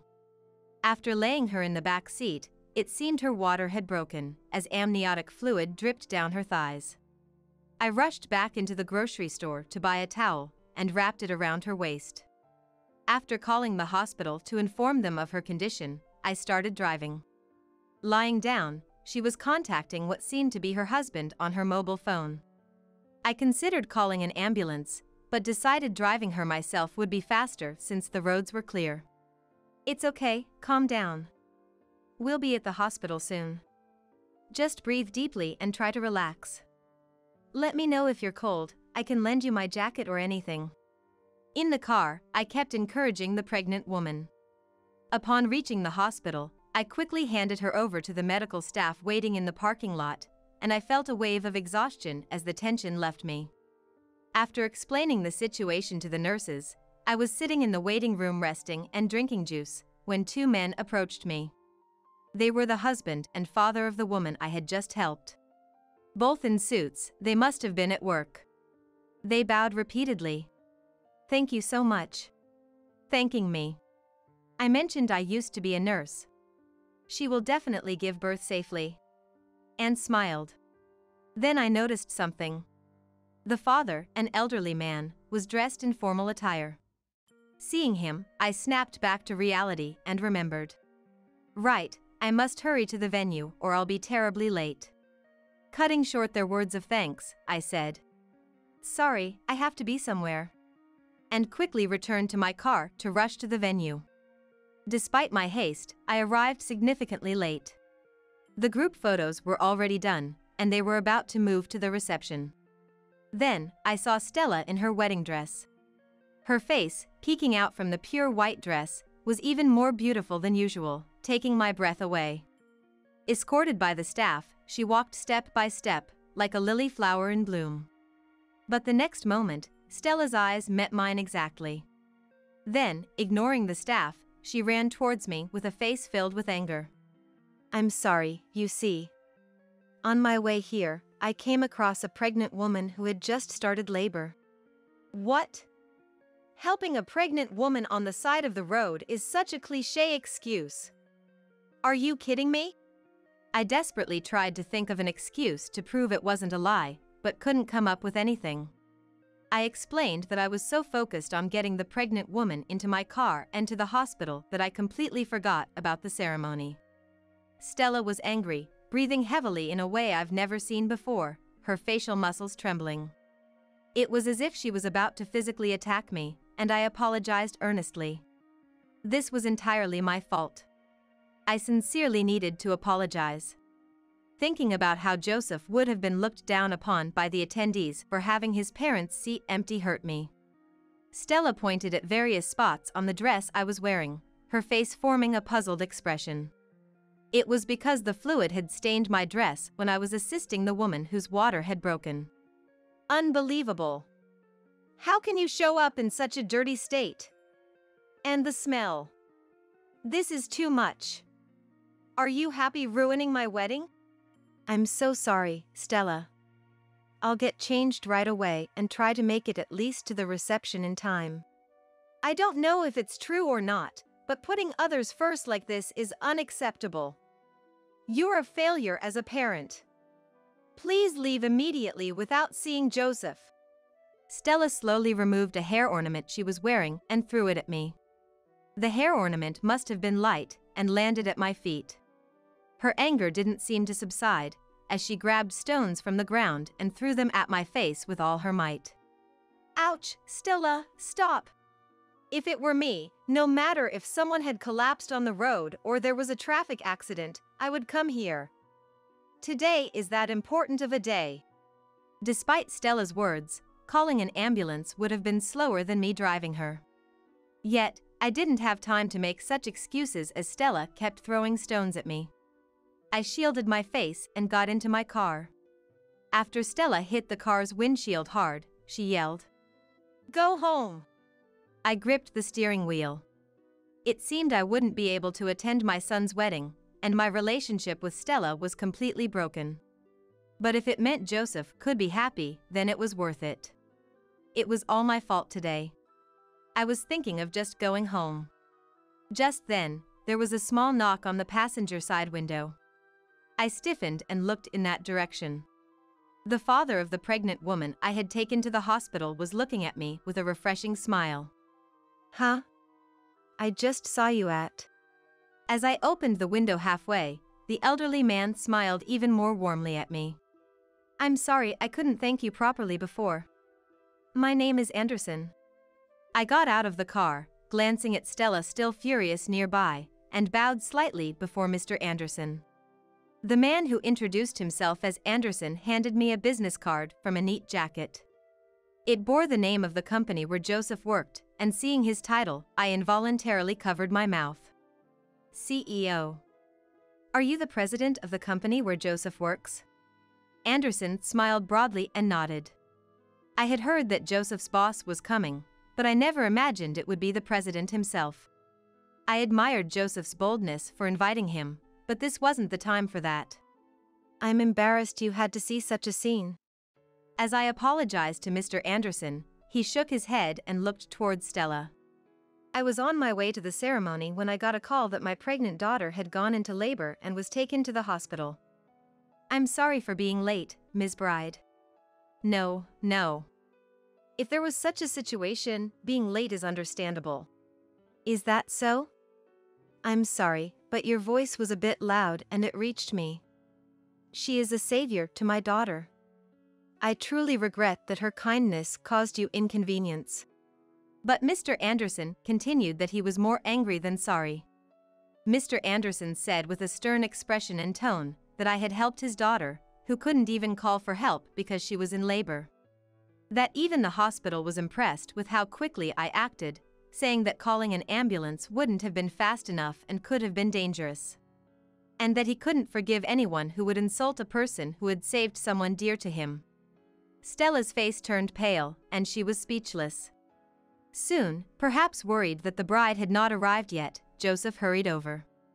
Upon noticing Mr. Anderson, he immediately bowed deeply. Before I could explain the situation, Mr. Anderson, with a smile, stopped me and explained everything to Joseph. His account was much more exaggerated and kinder than anything I could have said. He described how a brave and wonderful woman had helped a pregnant woman, leading to her late arrival at the important ceremony, and how Stella, failing to understand, had thrown stones at me. Indeed, as befits the president of a large company, his explanation was very skillful. Joseph, who had been listening intently, was visibly shocked. Sensing the tense atmosphere, Stella's parents approached with concerned looks on their faces. Worried this might turn into a condemnation of Stella and ruin the wedding. I apologized to Mr. Anderson and to Stella as well. I'm sorry. I'm really sorry. It's all my fault for not coming to the venue right away. Yes, that's right. Normally, wouldn't you change at the venue? Why did you come from home already dressed?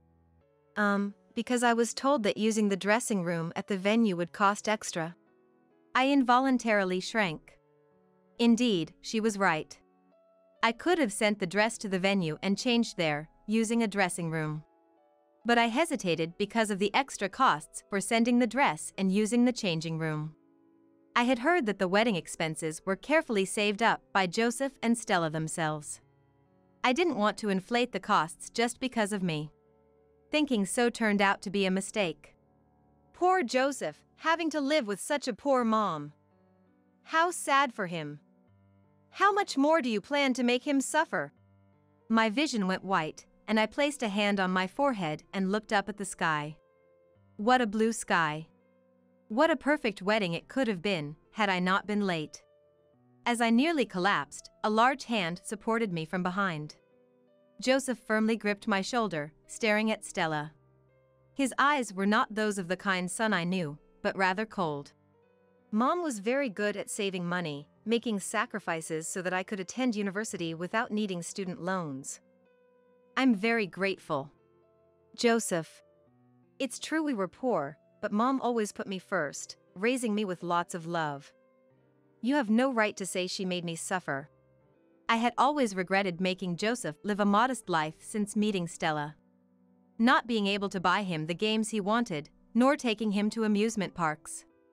I thought maybe he resented having a forced saving mentality due to our poverty, not being able to say I want this, or I want to go somewhere. That's how I thought about Joseph. I'm sorry, Stella. But after you've insulted mom like this, I can't imagine a life with you anymore. Let's call off the engagement. What? Don't be ridiculous. Don't be such a mama's boy. Stella's expression snapped with Joseph's unexpected declaration of calling off the engagement. Once as beautiful as a white fairy, her skin turned bright red, and mascara ran down from her tears, looking witch-like.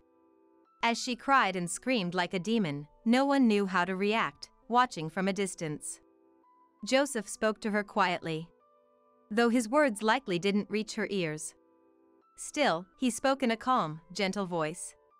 Disregarding savings and mocking poverty is prejudice. Saving is necessary for the future. Instead of ridiculing it, I wished we could respect each other and acknowledge diversity. I looked at Joseph's profile, which looked lonely. I thought he must still love her. Thus, the wedding was cancelled. When Stella's parents found out about the situation, they felt responsible and offered to cover all the expenses for the venue.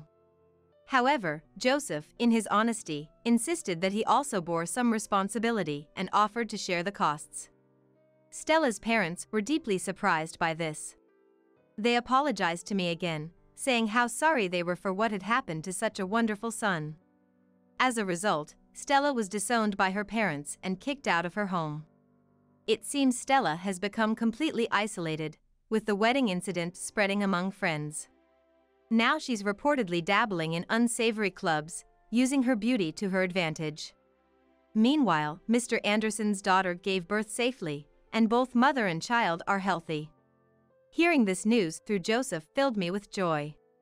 On a sunny Sunday, as I started cleaning the room, I found the painting of the blue sky and sea tucked away in a corner. It was the painting by Joseph that Stella had called pitiful. Pausing my cleaning, I stared at it for a while until Joseph, just woken up and in his usual worn out clothes, came out to get coffee from the fridge. What are you looking at? This painting you made when you were little. It used to hang on the wall, remember? Ah, that one. Joseph took a sip of his coffee, his expression unnaturally stiff. Stella said it's pitiful that this painting is on the back of a flyer, implying you were poor. At my words, Joseph snorted with laughter. It's not like I didn't have paper to draw on. And I didn't draw on the back of flyers because we were saving money or anything. What? Really? Yeah. You always looked so closely at the sale flyers, right? I figured if I drew on the back of that day's flyer, you'd definitely see my painting. I was so surprised that I gaped at him. Then, suddenly filled with amusement, I burst out laughing. Joseph, caught by my laughter, joined in, and our home was enveloped in joy. Next time, I'll find a woman who appreciates you too. Saving is also good for the environment, after all. Surely you'll find someone wonderful. I conveyed this sentiment in my heart. I'll continue to support Joseph from the shadows. My daughter Sharon's husband Christopher suddenly said with a sly smile. I want to take this opportunity and discuss this with you. I had a DNA test taken because I thought she didn't look like me. And it turns out she's not my daughter. Christopher said so pointing at my granddaughter Tiana, who was being held by Sharon. I made an eye contact with my husband Dylan while Christopher was unable to hide his smirk. I figured as much. I was disappointed, but anger quickly overtook me. So you've been cheating on me behind my back? You bastard. Were you having an affair with one of the fathers who picks up their kids from daycare? His raised voice caught the attention of those around us. I felt truly sorry. I still wanted to believe in him. A woman like this is totally untrustworthy. Divorce. I want a divorce. Sharon seemed unable to comprehend Christopher's sudden change. Tiana, sensing something was wrong, started crying and her cries echoing around us. I couldn't believe he was this kind of person. I felt an anger towards him like I had never felt before for neglecting my daughter. Looking over at Dylan, I saw him with an angry expression, fists clenched. This was our only chance. I exchanged glances with Dylan, then took out a photo we had prepared in advance. This photo was our trump card. With hands trembling with anger, I held up the photo in front of Christopher. My name is Violet. I'm a 55 year old housewife. I live a commonplace life, but I cherish the certain happiness I feel and value the peaceful family life I have. My family consists of my husband Dylan, who currently works at a travel agency, my daughter Sharon, a nursery teacher, and my granddaughter Tiana. We are a family of four. Until recently, Christopher, Sharon's husband, who's also an assistant director who works at a TV station, lived with us. When he was still in this house, I never dreamed we would end up living separately. Our current life goes back to when I met Dylan. Meeting Dylan was a story from decades ago. Back then, it was common for our marriages to be arranged by our parents. He was five years older, in the prime of his career at a travel agency. He had a manly and serious look about him, which left a good impression on me. Due to his job, he was knowledgeable about geography all over the world. I remember him talking excitedly about the charms of various tourist destinations over dinner.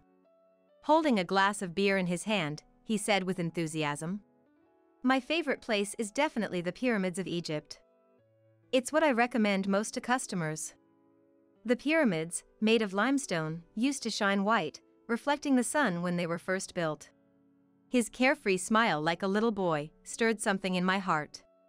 Seeing him like that, I wanted to sit next to him and hear more. I would love for you to take me to your recommended places, Dylan. To that he responded with a smile. Leave it to me. That's how we hit it off, starting a relationship with marriage in mind. Dylan was busy with work, but he always made time for me. His experience in a travel agency showed in how perfectly he planned our dates and trips. I wanted to walk through life with this man. After a few months of dating, I was convinced that we could make a married life work. Please marry me. I want to see the pyramids with you on our honeymoon. It was an unplanned proposal. He stared at me wide eyed for a few seconds, then broke into a broad smile. Of course. Thank you. Really? I'm sorry I made you say it. Thus, having confirmed our feelings for each other, we officially pledged our love at our wedding a few months later. True to our promise, we went to Egypt to see the pyramids on our honeymoon. That scenery will never fade in my mind, even after many years. In the midst of what could be called the pinnacle of happiness, our daughter Sharon was born. Life with a child passed surprisingly quickly, and before we knew it, Sharon had grown up and become a respectable nursery teacher. Sharon, who always loved children, seemed fulfilled, even though she was often busy with the kids at the nursery. Through her work, she started talking about wanting to get married and have her own children. She came to me for advice when she was 26. Mom, do you remember Nicola from my university? I talked to her about getting married, and she invited me to a party. I'm not sure if I should go or not. Seeing my daughter seemingly exhausted from thinking about marriage and kids, I decided to give her a push. Well, isn't this a chance? You can trust an invitation from Nicola. Why not just go and see? Sharon looked somewhat anxious, but eventually decided to go. And so the day of the party came. Sharon left the house wearing fancier clothes than usual. Her makeup, different from her normal style, seemed to be done with extra effort. Dylan and I had dinner alone for the first time in a while. As we ate, Dylan seemed restless. What's wrong? Wasn't the dinner good? I asked half jokingly, and Dylan replied awkwardly. Of course not. I'm just a bit worried about Sharon. I hope she doesn't get deceived by some strange guy. I felt the same way. After all, I was the one who had encouraged Sharon to go. I guess so. But it's Sharon, she'll be fine. She has a good eye for men. After all, she takes after me in that regard. I guess you're right. I think we both were trying to mask our anxiety with laughter. Then, a few hours later, Sharon returned. When I asked how it went, Sharon said with a smile. There was a great guy there. A really great guy. And she kept repeating how he was a good person. Whether it was from the cold air of January or the excitement of finding someone, her cheeks were flushed. What kind of person is he? Dylan asked, and to that Sharon proudly replied. He's part of a TV crew. His name is Christopher. He goes on location shoots and visits all sorts of places. I went on many trips with you too, right? So, we hit it off. Upon hearing this, Dylan frowned slightly. A TV crew, so he's in the entertainment industry, right? I don't have a very good impression of that. How should I put it? Didn't he look a bit frivolous? But you're the one who said, Men who travel to different places and see various sceneries are trustworthy. He had black hair and didn't look frivolous at all. Well, I did say that, but. I calmed down Dylan, who didn't seem convinced, and told Sharon. Anyway, make sure you date him properly and take your time to find out what kind of person he is. It's late now. You have work tomorrow, right? I urged Sharon, who seemed quite drunk, to go to bed. After that, Sharon and Christopher officially started dating. Their relationship seemed to be going well, and Sharon introduced Christopher to me and Dylan. Christopher, being in the entertainment industry, initially seemed elusive. But after talking to him, he turned out to be very personable. So when they brought up marriage, I genuinely agreed. The best thing is to respect Sharon's choice. Thus, they continued their relationship smoothly and got married two years after meeting. Christopher, wearing an undoubtedly expensive suit, came to greet us formally. He held a bottle of high end wine in his hand. I was genuinely happy for Sharon's marriage. Sharon's face, brimming with happiness, made it clear she was at the peak of her joy. Thinking back, that might have been the happiest time. Christopher, looking confident, addressed Dylan. I've brought some wine. Let me pour you a glass. Dylan, albeit awkwardly, accepted it. The meal continued in a good atmosphere for a while. It was when the bottom of the wine bottle Christopher brought started to show that the mood changed. You're in the entertainment industry, right? Frankly, I still can't trust you. Dylan's words made me freeze. The room suddenly became quiet, the atmosphere tense. I didn't want to ruin this happy moment. Hey, why are you saying such unpleasant things all of a sudden? I sharply said to Dylan. Sharon then spoke up. That's right. What are you talking about, Dad? That's just prejudice. It's terrible that you can't trust the person I chose. Dylan's frown did not ease even at Sharon's words. Christopher tried to maintain a smile, but he was undoubtedly upset. The evening ended with an awkward atmosphere. After Christopher left, a sober Dylan sincerely apologized to us. Indeed, Dylan's opinion was nothing but a prejudice. Sharon's smile had proved Christopher was a good match, which was evident. Gradually, seeing our daughter's happy smile, Dylan began to accept Christopher. They were supposed to have pledged eternal love at their wedding. They were supposed to be in love. Now, I regret not listening more to Dylan's concerns.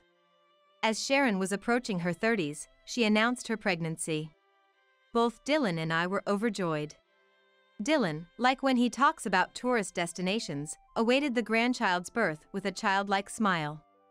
And I too got too excited for my age. You two are getting ahead of yourselves.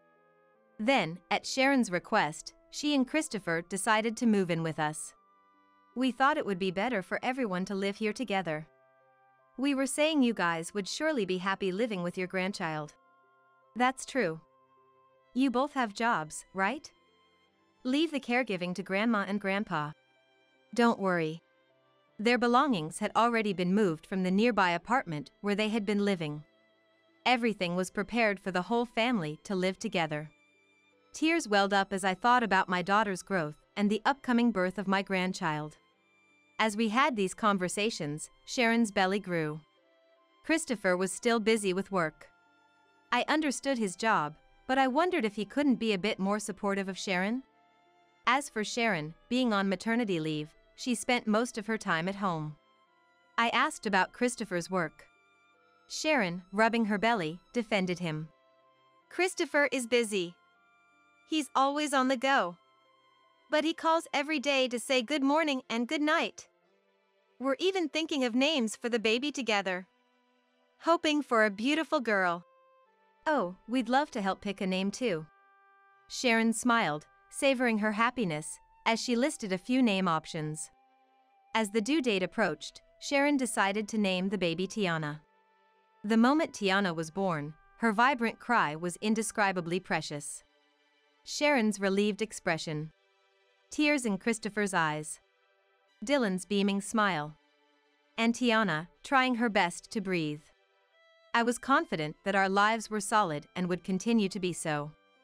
However, the happy future I envisioned never came to be. At the height of my daughter's happiness, I was shocked to learn a disturbing truth from Dylan. He had confirmed some unbelievable behavior from Christopher. I didn't want to doubt him. He was supposed to be the perfect husband for my precious daughter. Despite my uneasy feelings, Dylan, with a serious expression, insisted. I saw it with my own eyes. I know it's hard to believe Christopher's suspicious behavior. Violet, you might not want to know, but it's true. That man is lying. To us and to Sharon. I had never seen Dylan so emotional in over 30 years together. From his unsettled state, I learned everything. Dylan's seriousness made me realize the gravity of the situation. But it was too much to accept all at once. Why would Christopher do such a thing? What about Sharon and Tiana? My heart pounded, wishing I hadn't heard this truth. I wanted it all to be a lie. Especially since Tiana had just been born. Since Dylan told me, a swelling rage grew inside me. I felt the greatest anger of my life. I didn't know what the right answer was, but it was for Sharon and for Tiana. Reluctantly, I decided to follow Dylan's plan. Then we quietly began our preparations, just the two of us. Meanwhile, Tiana continued to grow. A month after her birth, we decided to go out as a family. The attendees were me, Dylan, Sharon, Christopher, and Tiana, five in total. I heard Christopher had planned this outing, which was a great surprise.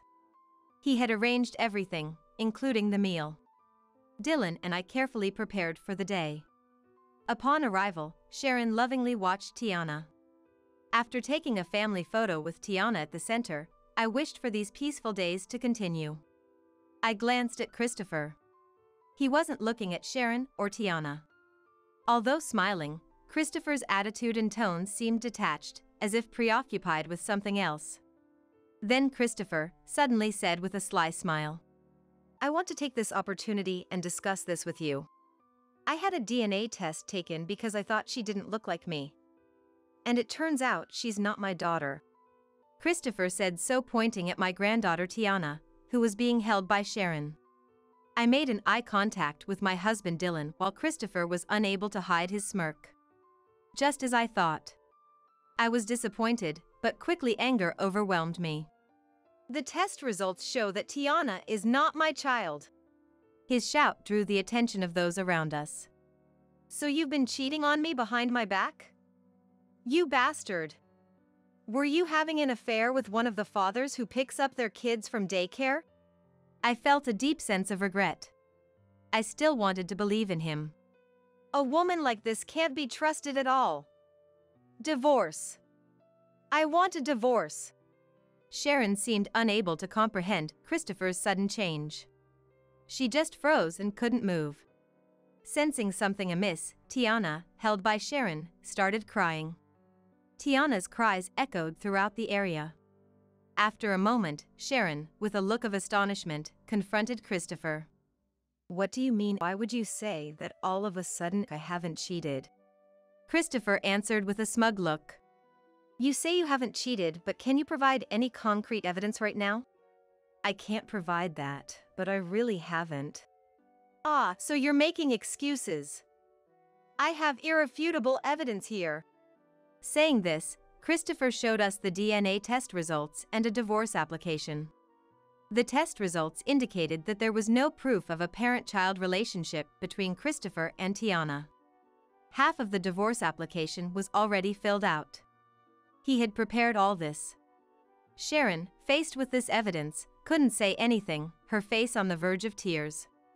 Her lips were tightly pressed, enduring the pain, and my heart ached for her. Who could have imagined she would be treated this way? The results show that she's not my child. A cheating woman made a child with some other man, and the DNA proves it. Sign the divorce papers quickly. If you resist, I'll take you to court and demand compensation. Then Christopher, who had retracted his smile, spoke in a low voice. Hey, I've got a good lawyer. You can't escape, so be prepared. It's incredible how far he could take this act. This, this was the man he turned out to be. I felt a rage towards him like never before for neglecting my daughter. Glancing at Dylan, I saw he was angry too. Now was the only chance. I exchanged glances with Dylan and then took out a photo we had prepared in advance. This photo was our trump card. Holding it with trembling, angry hands, I presented it in front of Christopher. If you're going to do that, we have something to present as well. Right, Dylan? Yes, indeed. Dylan pulled several photos from his jacket pocket. They were photos of Christopher's infidelity, obtained by hiring a private investigator. Each photo was decisive evidence, but we had prepared multiple. It's necessary to confront him thoroughly with irrefutable evidence. How come these are here? What's this? In each of the several photos, Christopher was clearly visible. There were pictures of him walking arm in arm with an unknown woman, entering a hotel with a woman, and kissing a woman on the street, among others. Since the day Dylan confirmed Christopher's suspicious behavior, we had been investigating his actions with a detective. The skill of a professional detective is astounding. So, you were regularly meeting another woman, planning to switch from Sharon to her? Who's the one cheating, I wonder? Dylan also started yelling as well. You bastard! Trampling on Sharon's feelings. Christopher's smile had vanished, replaced by an unmistakable panic. How did you find out? No, wait. This is fake. You made these composite photos to slander me, you liar. Sharon's the one cheating. His voice was low at first, as if reassuring himself, then became accusatory, threatening us. But my anger was beyond control. Dylan, as if echoing my fury, shouted, You're the one who is lying. Are you saying all these photos are fake? Perhaps feeling overwhelmed by Dylan, or realizing his excuses were futile, Christopher suddenly became quiet. Dylan, although sometimes seen as unapproachable, hardly ever raises his voice. I realized for the first time how intimidating he could be when he was truly angry. Dylan took a breath and began talking in a quiet manner. My discomfort wasn't mistaken. You might not have noticed, but I heard everything from the bathroom. Those overly suspicious conversations. Things like I'll manage the separation smoothly or help me forge the DNA report. I didn't intend to listen, but such conversations are obviously strange. You've been deceiving and hurting our daughters all this time. Dylan had accidentally overheard Christopher's phone conversation while he was in the bathroom. Dylan had been close to the door without realizing Christopher was there. And then Dylan raised his voice again.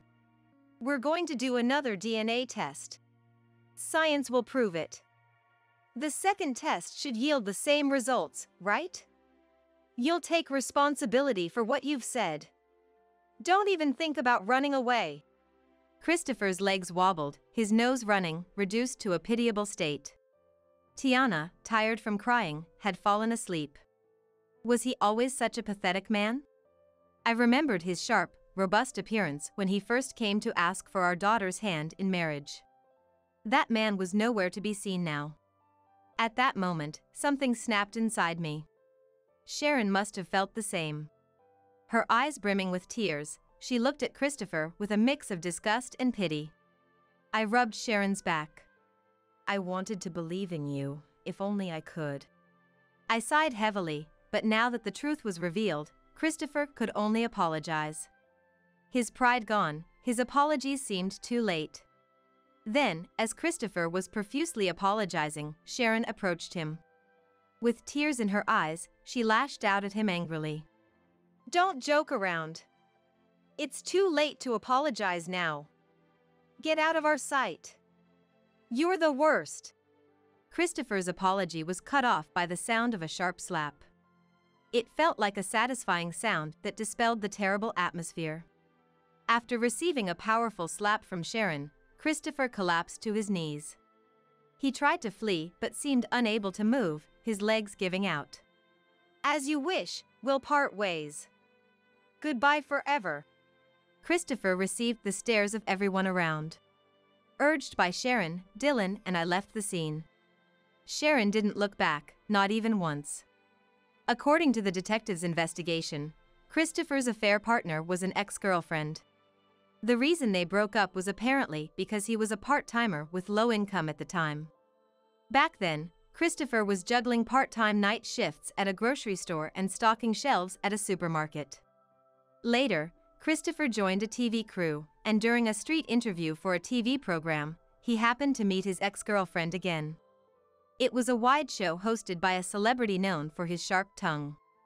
His ex-girlfriend seemed impressed with Christopher who had made a place for himself in the entertainment business.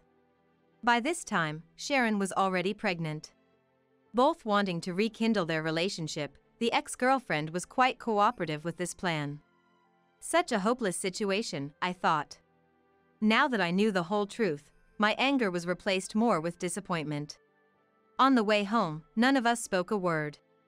If even we, as parents, were deeply hurt, Sharon's emotional wounds must be immeasurable.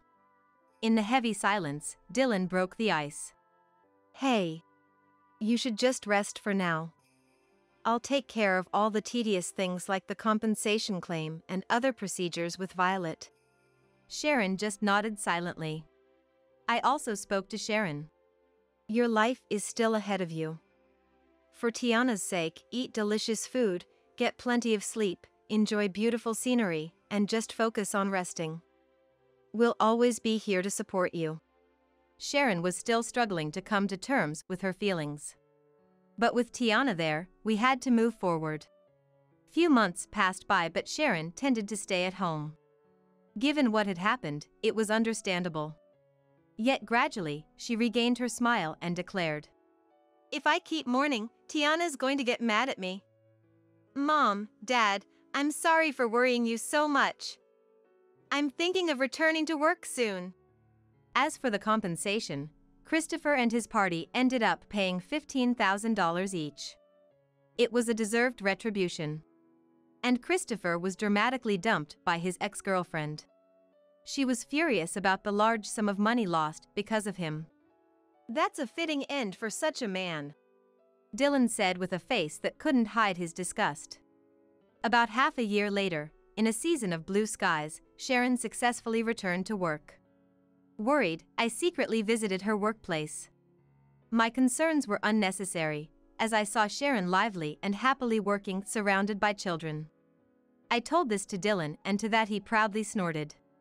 I told you there was no need to worry. Though he had hesitated to come with me till the last minute. Hearing Dylan's words, I couldn't help but laugh, feeling our happy daily life returning. Despite everything, our family had regained peaceful days. Tiana was growing up healthy. Dylan, now past 60, was still actively working. Today, I'm preparing a meal for a family dinner. After setting the table, I said to everyone, Let's go on a family trip again. Anywhere, as long as we're together. Absolutely. Anywhere we go will be fun. At that moment, Tiana made a sound as if replying. Her incomprehensible babble was enough to bring a smile to Sharon's face. We all smiled in response. Dad and Mom, live long, okay? I want to show Tiana the wide world. Just like the old times, I hope we can travel together again. Of course, I plan to live long. Right, Dylan? Yes, indeed. Maybe it's time to cut back on the alcohol. Dylan went to put the beer he had prepared back in the fridge. I too thought about starting walking myself to stay healthy. With these four people, I felt like we could do anything. I want to continue spending my days in this house, unchanged. Because I know there is certain happiness here. My name is Monica. Whenever I see a beautiful woman of my age, I think to myself, I've got to work on my skincare, or maybe lose some weight. But, before I know it, I'm saying I'll start tomorrow every day, and now I'm 42. Lately, even using a toner feels like a chore, so my skin is protected by a natural oil veil of my own making. Hey Siri! Tell me how to fix my lazy nature and become like Anne Hathaway by just sleeping. Today, I want to share a story from back when I was still all about self improvement. Please listen. It happened about 15 years ago. I had been married to my husband Andy for two years, but we were still very much in honeymoon mode. That's because Andy had to go on a business trip alone just six months into our marriage. He was selected as a temporary replacement because the person originally meant to go fell ill. I wanted to scream, don't disrupt our newlywed life. But being a junior employee, he couldn't disobey his superiors. I wanted to go with him, but we had just married and still had our condo lease. Breaking the lease for a short assignment and then having to find a new place seemed too much. After discussing it, we decided. It would be more trouble to go together for such a short time. We can manage being apart. So, just six months into our marriage, we ended up living separately. Finally, after about half a year, Andy's solo trip ended, and we could live together again. Finally, we can spend time together. I was filled with the desire to enjoy our newlywed life. But it didn't quite go as planned. Originally, when Andy had to go on his business trip, my mother in law, Violet, got angry. Choosing to separate so early in your marriage, does Monica's love for Andy even exist? She started visiting our house frequently to check up on us. Let me make it clear our separation right after the wedding was a mutual decision. We talked on the phone every night and met every two weeks. Our love hadn't faded just because we were newlyweds living apart. But Violet believed that a wife should always follow her husband. She thought a wife's fulfillment came from being by her husband's side and taking meticulous care of him. She had a bit of an old fashioned view. It seemed more like Violet wanted to do these things rather than being asked by her husband. To me, she looked like a self satisfied, overbearing wife. Because of this, during Andy's business trip, Monica is probably cheating on Andy by not going with him. Violet had such misunderstandings. Andy tried hard to clear up these misunderstandings, so our relationship on the surface was fine. But Violet seemed to have grown to dislike me for letting her son go on his own. Given this background, Violet frequently came to our house for what she called daughter in law's work check. In short, it was to see if I was properly managing the household and treating Andy right. I wasn't doing anything wrong, so she could look all she wanted. If that would earn her trust, then so be it. First, she would come over unannounced and immediately start inspecting the bathroom and shower, looking for any dirt. A single hair or eyelash out of place meant I failed. She would yell at me if there was even a slight water stain on the shower mirror. How can it be spotless every day when it's used daily? I wanted to shout, I work too, you know? But I had to endure.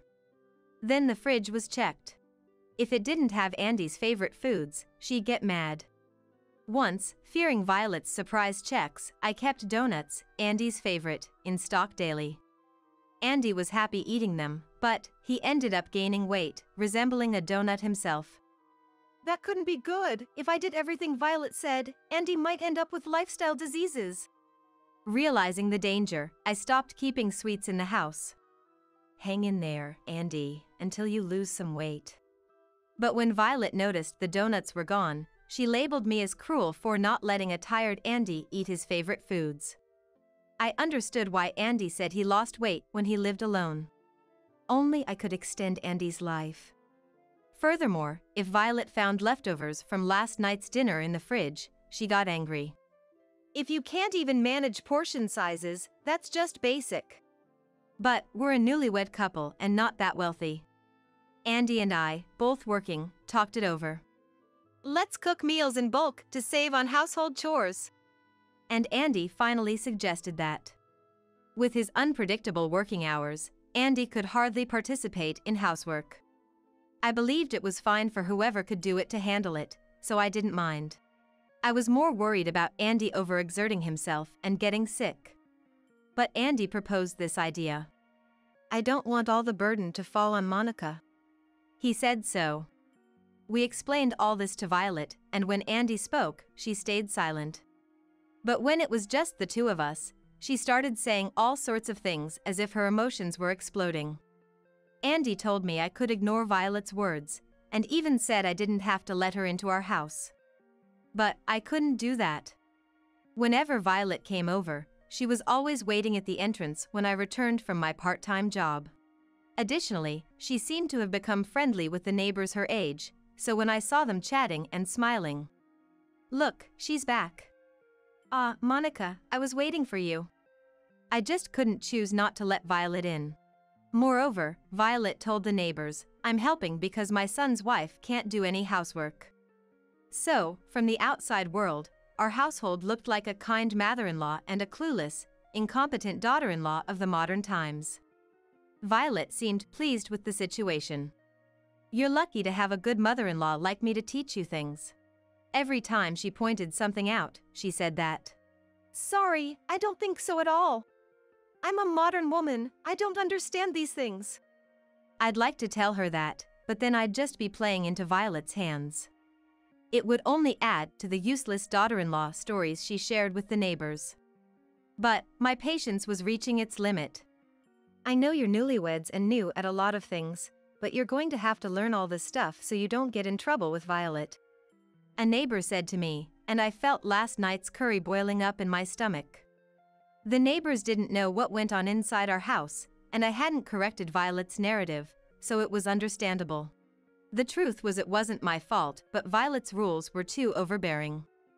I was working and managing the housework, and more importantly, if Andy was satisfied, that should be enough. After all, this house was mine and Andy's house. But as a newlywed, I couldn't speak out. I would say it now, being stronger. But back then, I was young and wanted to maintain a good relationship with my mother-in-law. I thought enduring it was the right thing to do. I didn't openly refute Violet's words to the neighbors for the same reason. If I did it, I would have been labeled as a defiant young person. That was probably my mistake. Violet's behavior gradually escalated. She started staying for dinner and then overnight. This made it impossible for Andy and me to, well, never mind. Let's save that for a late night adult channel talk. Haha. well, for a newlywed couple, having her stay over was truly a nuisance. Even Andy complained that. Even though she's my family, I can't relax with my mom around. That's strange. He was subtly supporting me and trying to prevent friction between me and Violet, so he must be stressed too. I felt sorry for Andy, coming home tired. A few times, Andy said to Violet, Dad will get lonely, go home. But she said, It's okay, James told me to look after things. I'm representing him. She used the authority of Andy's father, James, to her advantage. Andy's family is an old fashioned type that believed in the wives should obey their husband's principle. Even at this time of being married, Andy still had some irrefutable disagreements with James. The ingrained senses could be frightening, but for me, getting scolded by my dad always hurt more than by my mom. In short, my father was like the last line of defense. My mother got angry sometimes, but angering my father felt like the end of the world. He was like a mental pillar. That was why I thought I understand Andy's feelings. And since Violet started eating dinner at our house, I had been messing up dinner more often. The breakfasts I made when Violet wasn't around had never failed since we got married. At first, I thought I had messed up, and I think Andy did too. I apologized to Andy. Sorry, looks like I messed up. But Andy replied, It's rare for you. Aren't you tired? Take a rest today. But only Violet exaggeratedly complained. Wow, this is so salty, it'll shoot up my blood pressure. I thought it was salty too, and the taste could raise blood pressure, so I honestly apologized. But soon I started to wonder was I failing so often? Even when the taste seemed fine during cooking, it would be too sweet or too salty at dinner. I even got checked at the hospital, but there was nothing wrong with me. Could it be? I thought, and on a whim, I made dinner on the day Violet visited and left the kitchen. And that happened just as I suspected. Violet was humming and heavily sprinkling salt into the pot. The strength in her right hand and shoulder, holding the salt, was like she was avenging her parents. She could have surpassed a professional baseball player with that. Humming nonchalantly, she was ruining my cooking. I thought I had to tell Andy. But that night, Andy was extremely tired.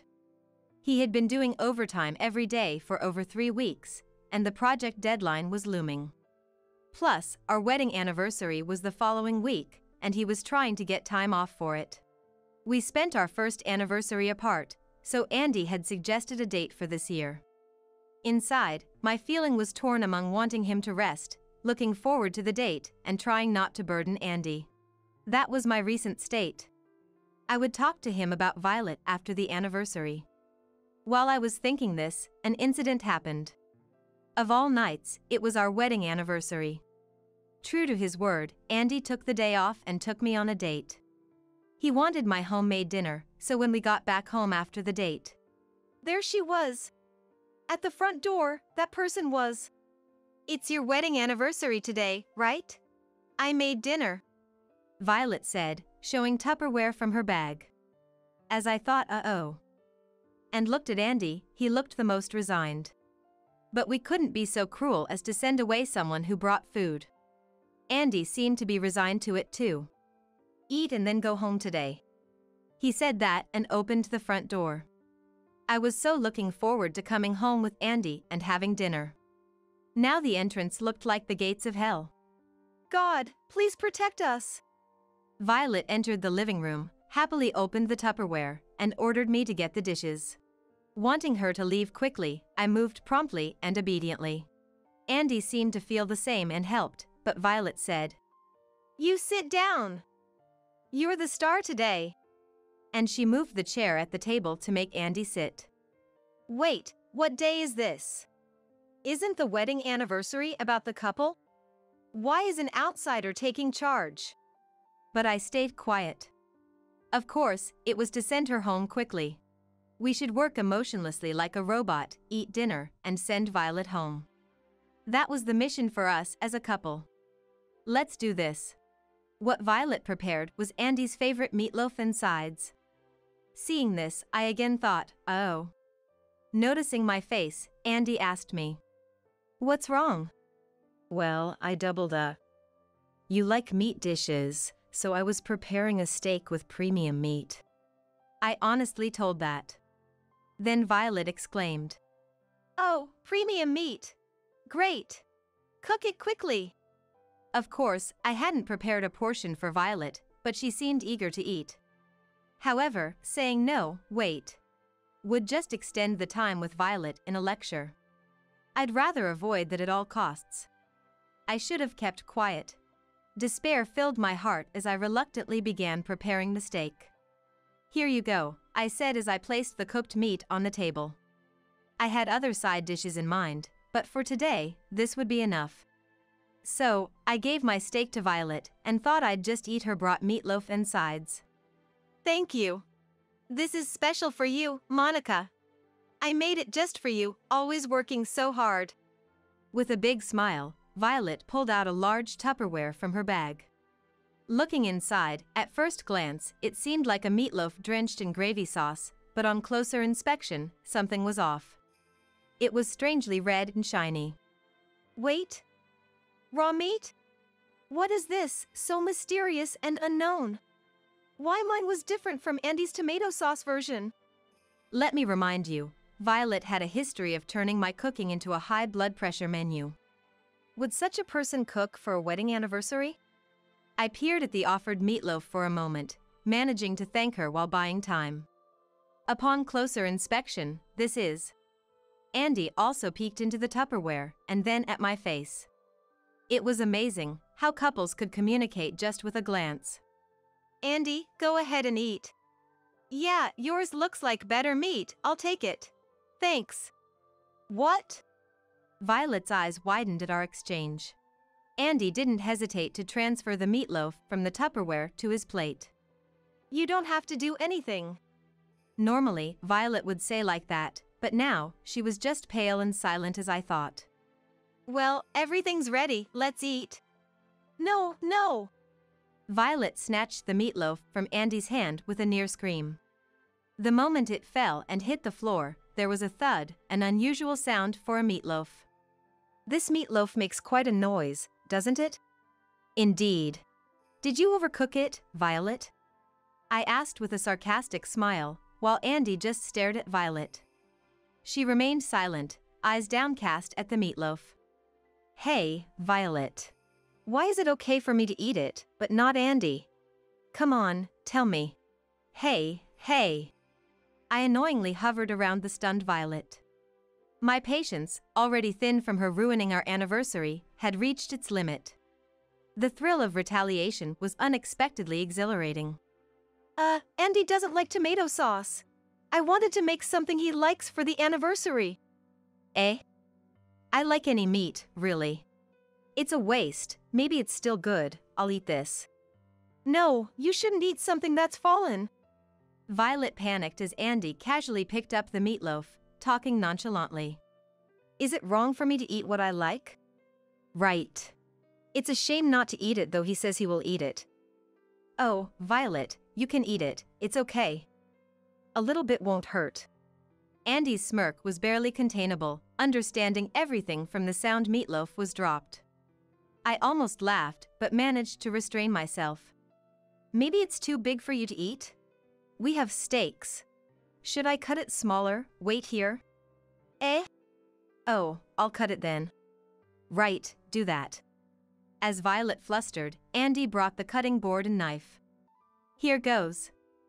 Let's it cut, but as expected, the meatloaf couldn't be cut.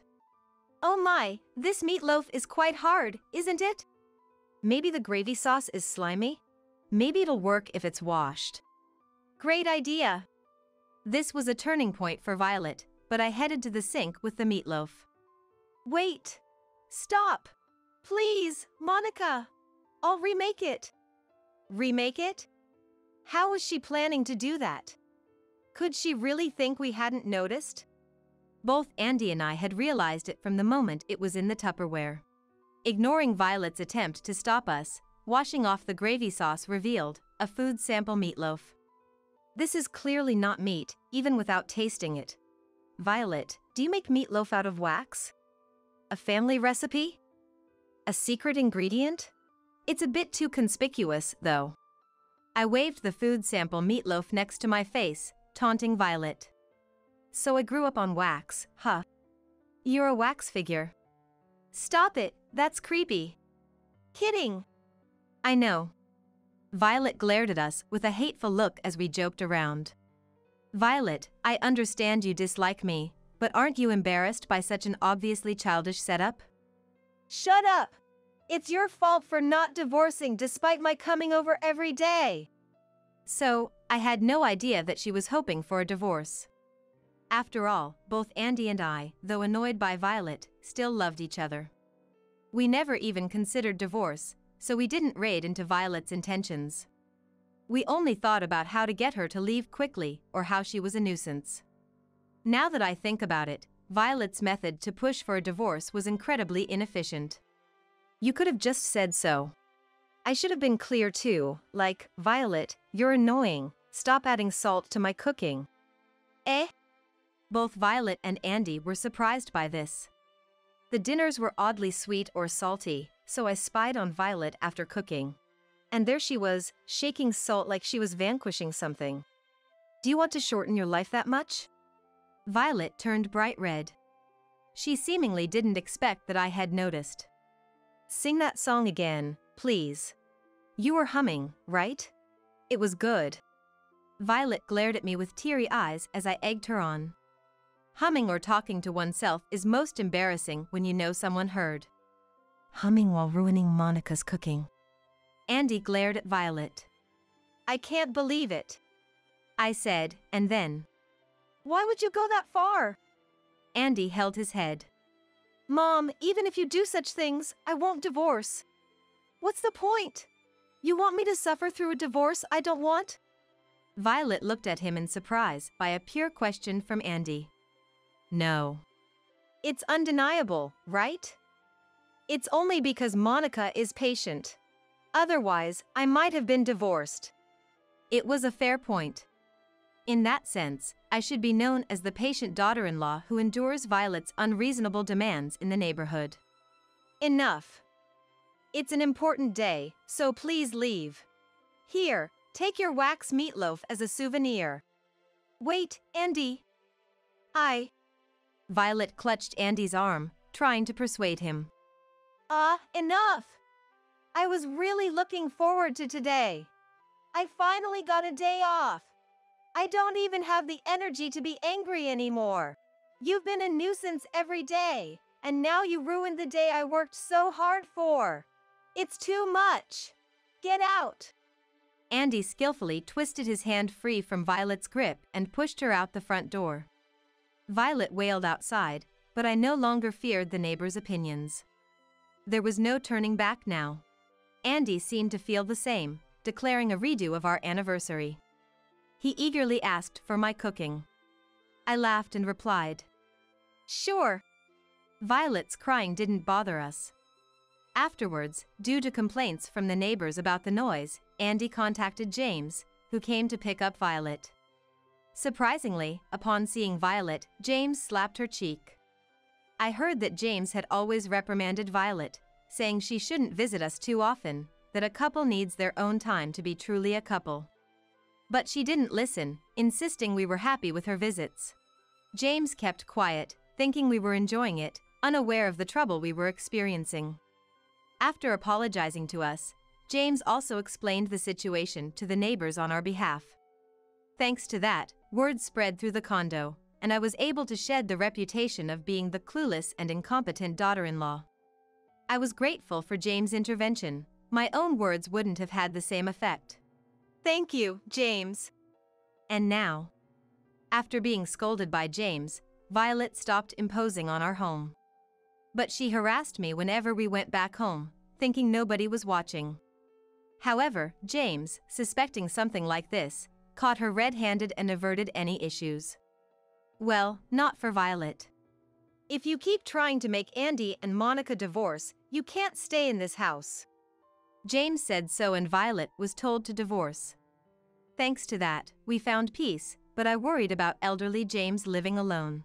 So we decided to live with him.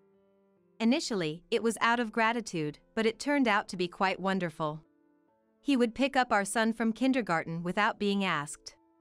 And he cooked French cuisine, drawing on his experience as a former restaurant staff. It's embarrassing how well he takes care of us when we should be the ones helping him. Once again, thank you, James. For him, living in a lively home with small children at his age was something he never expected, and he's grateful for it. He's too good of a person, truly a father to be respected. It makes sense why Andy couldn't argue with him, and why his words were absolute in his home. He's always right. No wonder he's absolutely truthful. Even at our home, we obediently listen to what he says. Honestly, it's not like winning the lottery or a grand business success, not the happily ever after you hear in fairy tales. But with not only James, but two sons and a daughter, our days are lively, just as James said they would be. Even as a wife who doesn't bother with skincare and is getting older, I have a kind, loving husband who still takes me on dates for our anniversary every year. Oh, I do my share of housework and parenting. Just tend to put myself last, hee hee. Despite everything, I've come to appreciate the ordinary. It's been 15 years since we were married. We still have the freshness of newlyweds, combined with the comfort and laxness that comes with familiarity, feeling happiness in everyday life. For our next anniversary date, I should work on skincare and getting in shape. I think I said that last year too.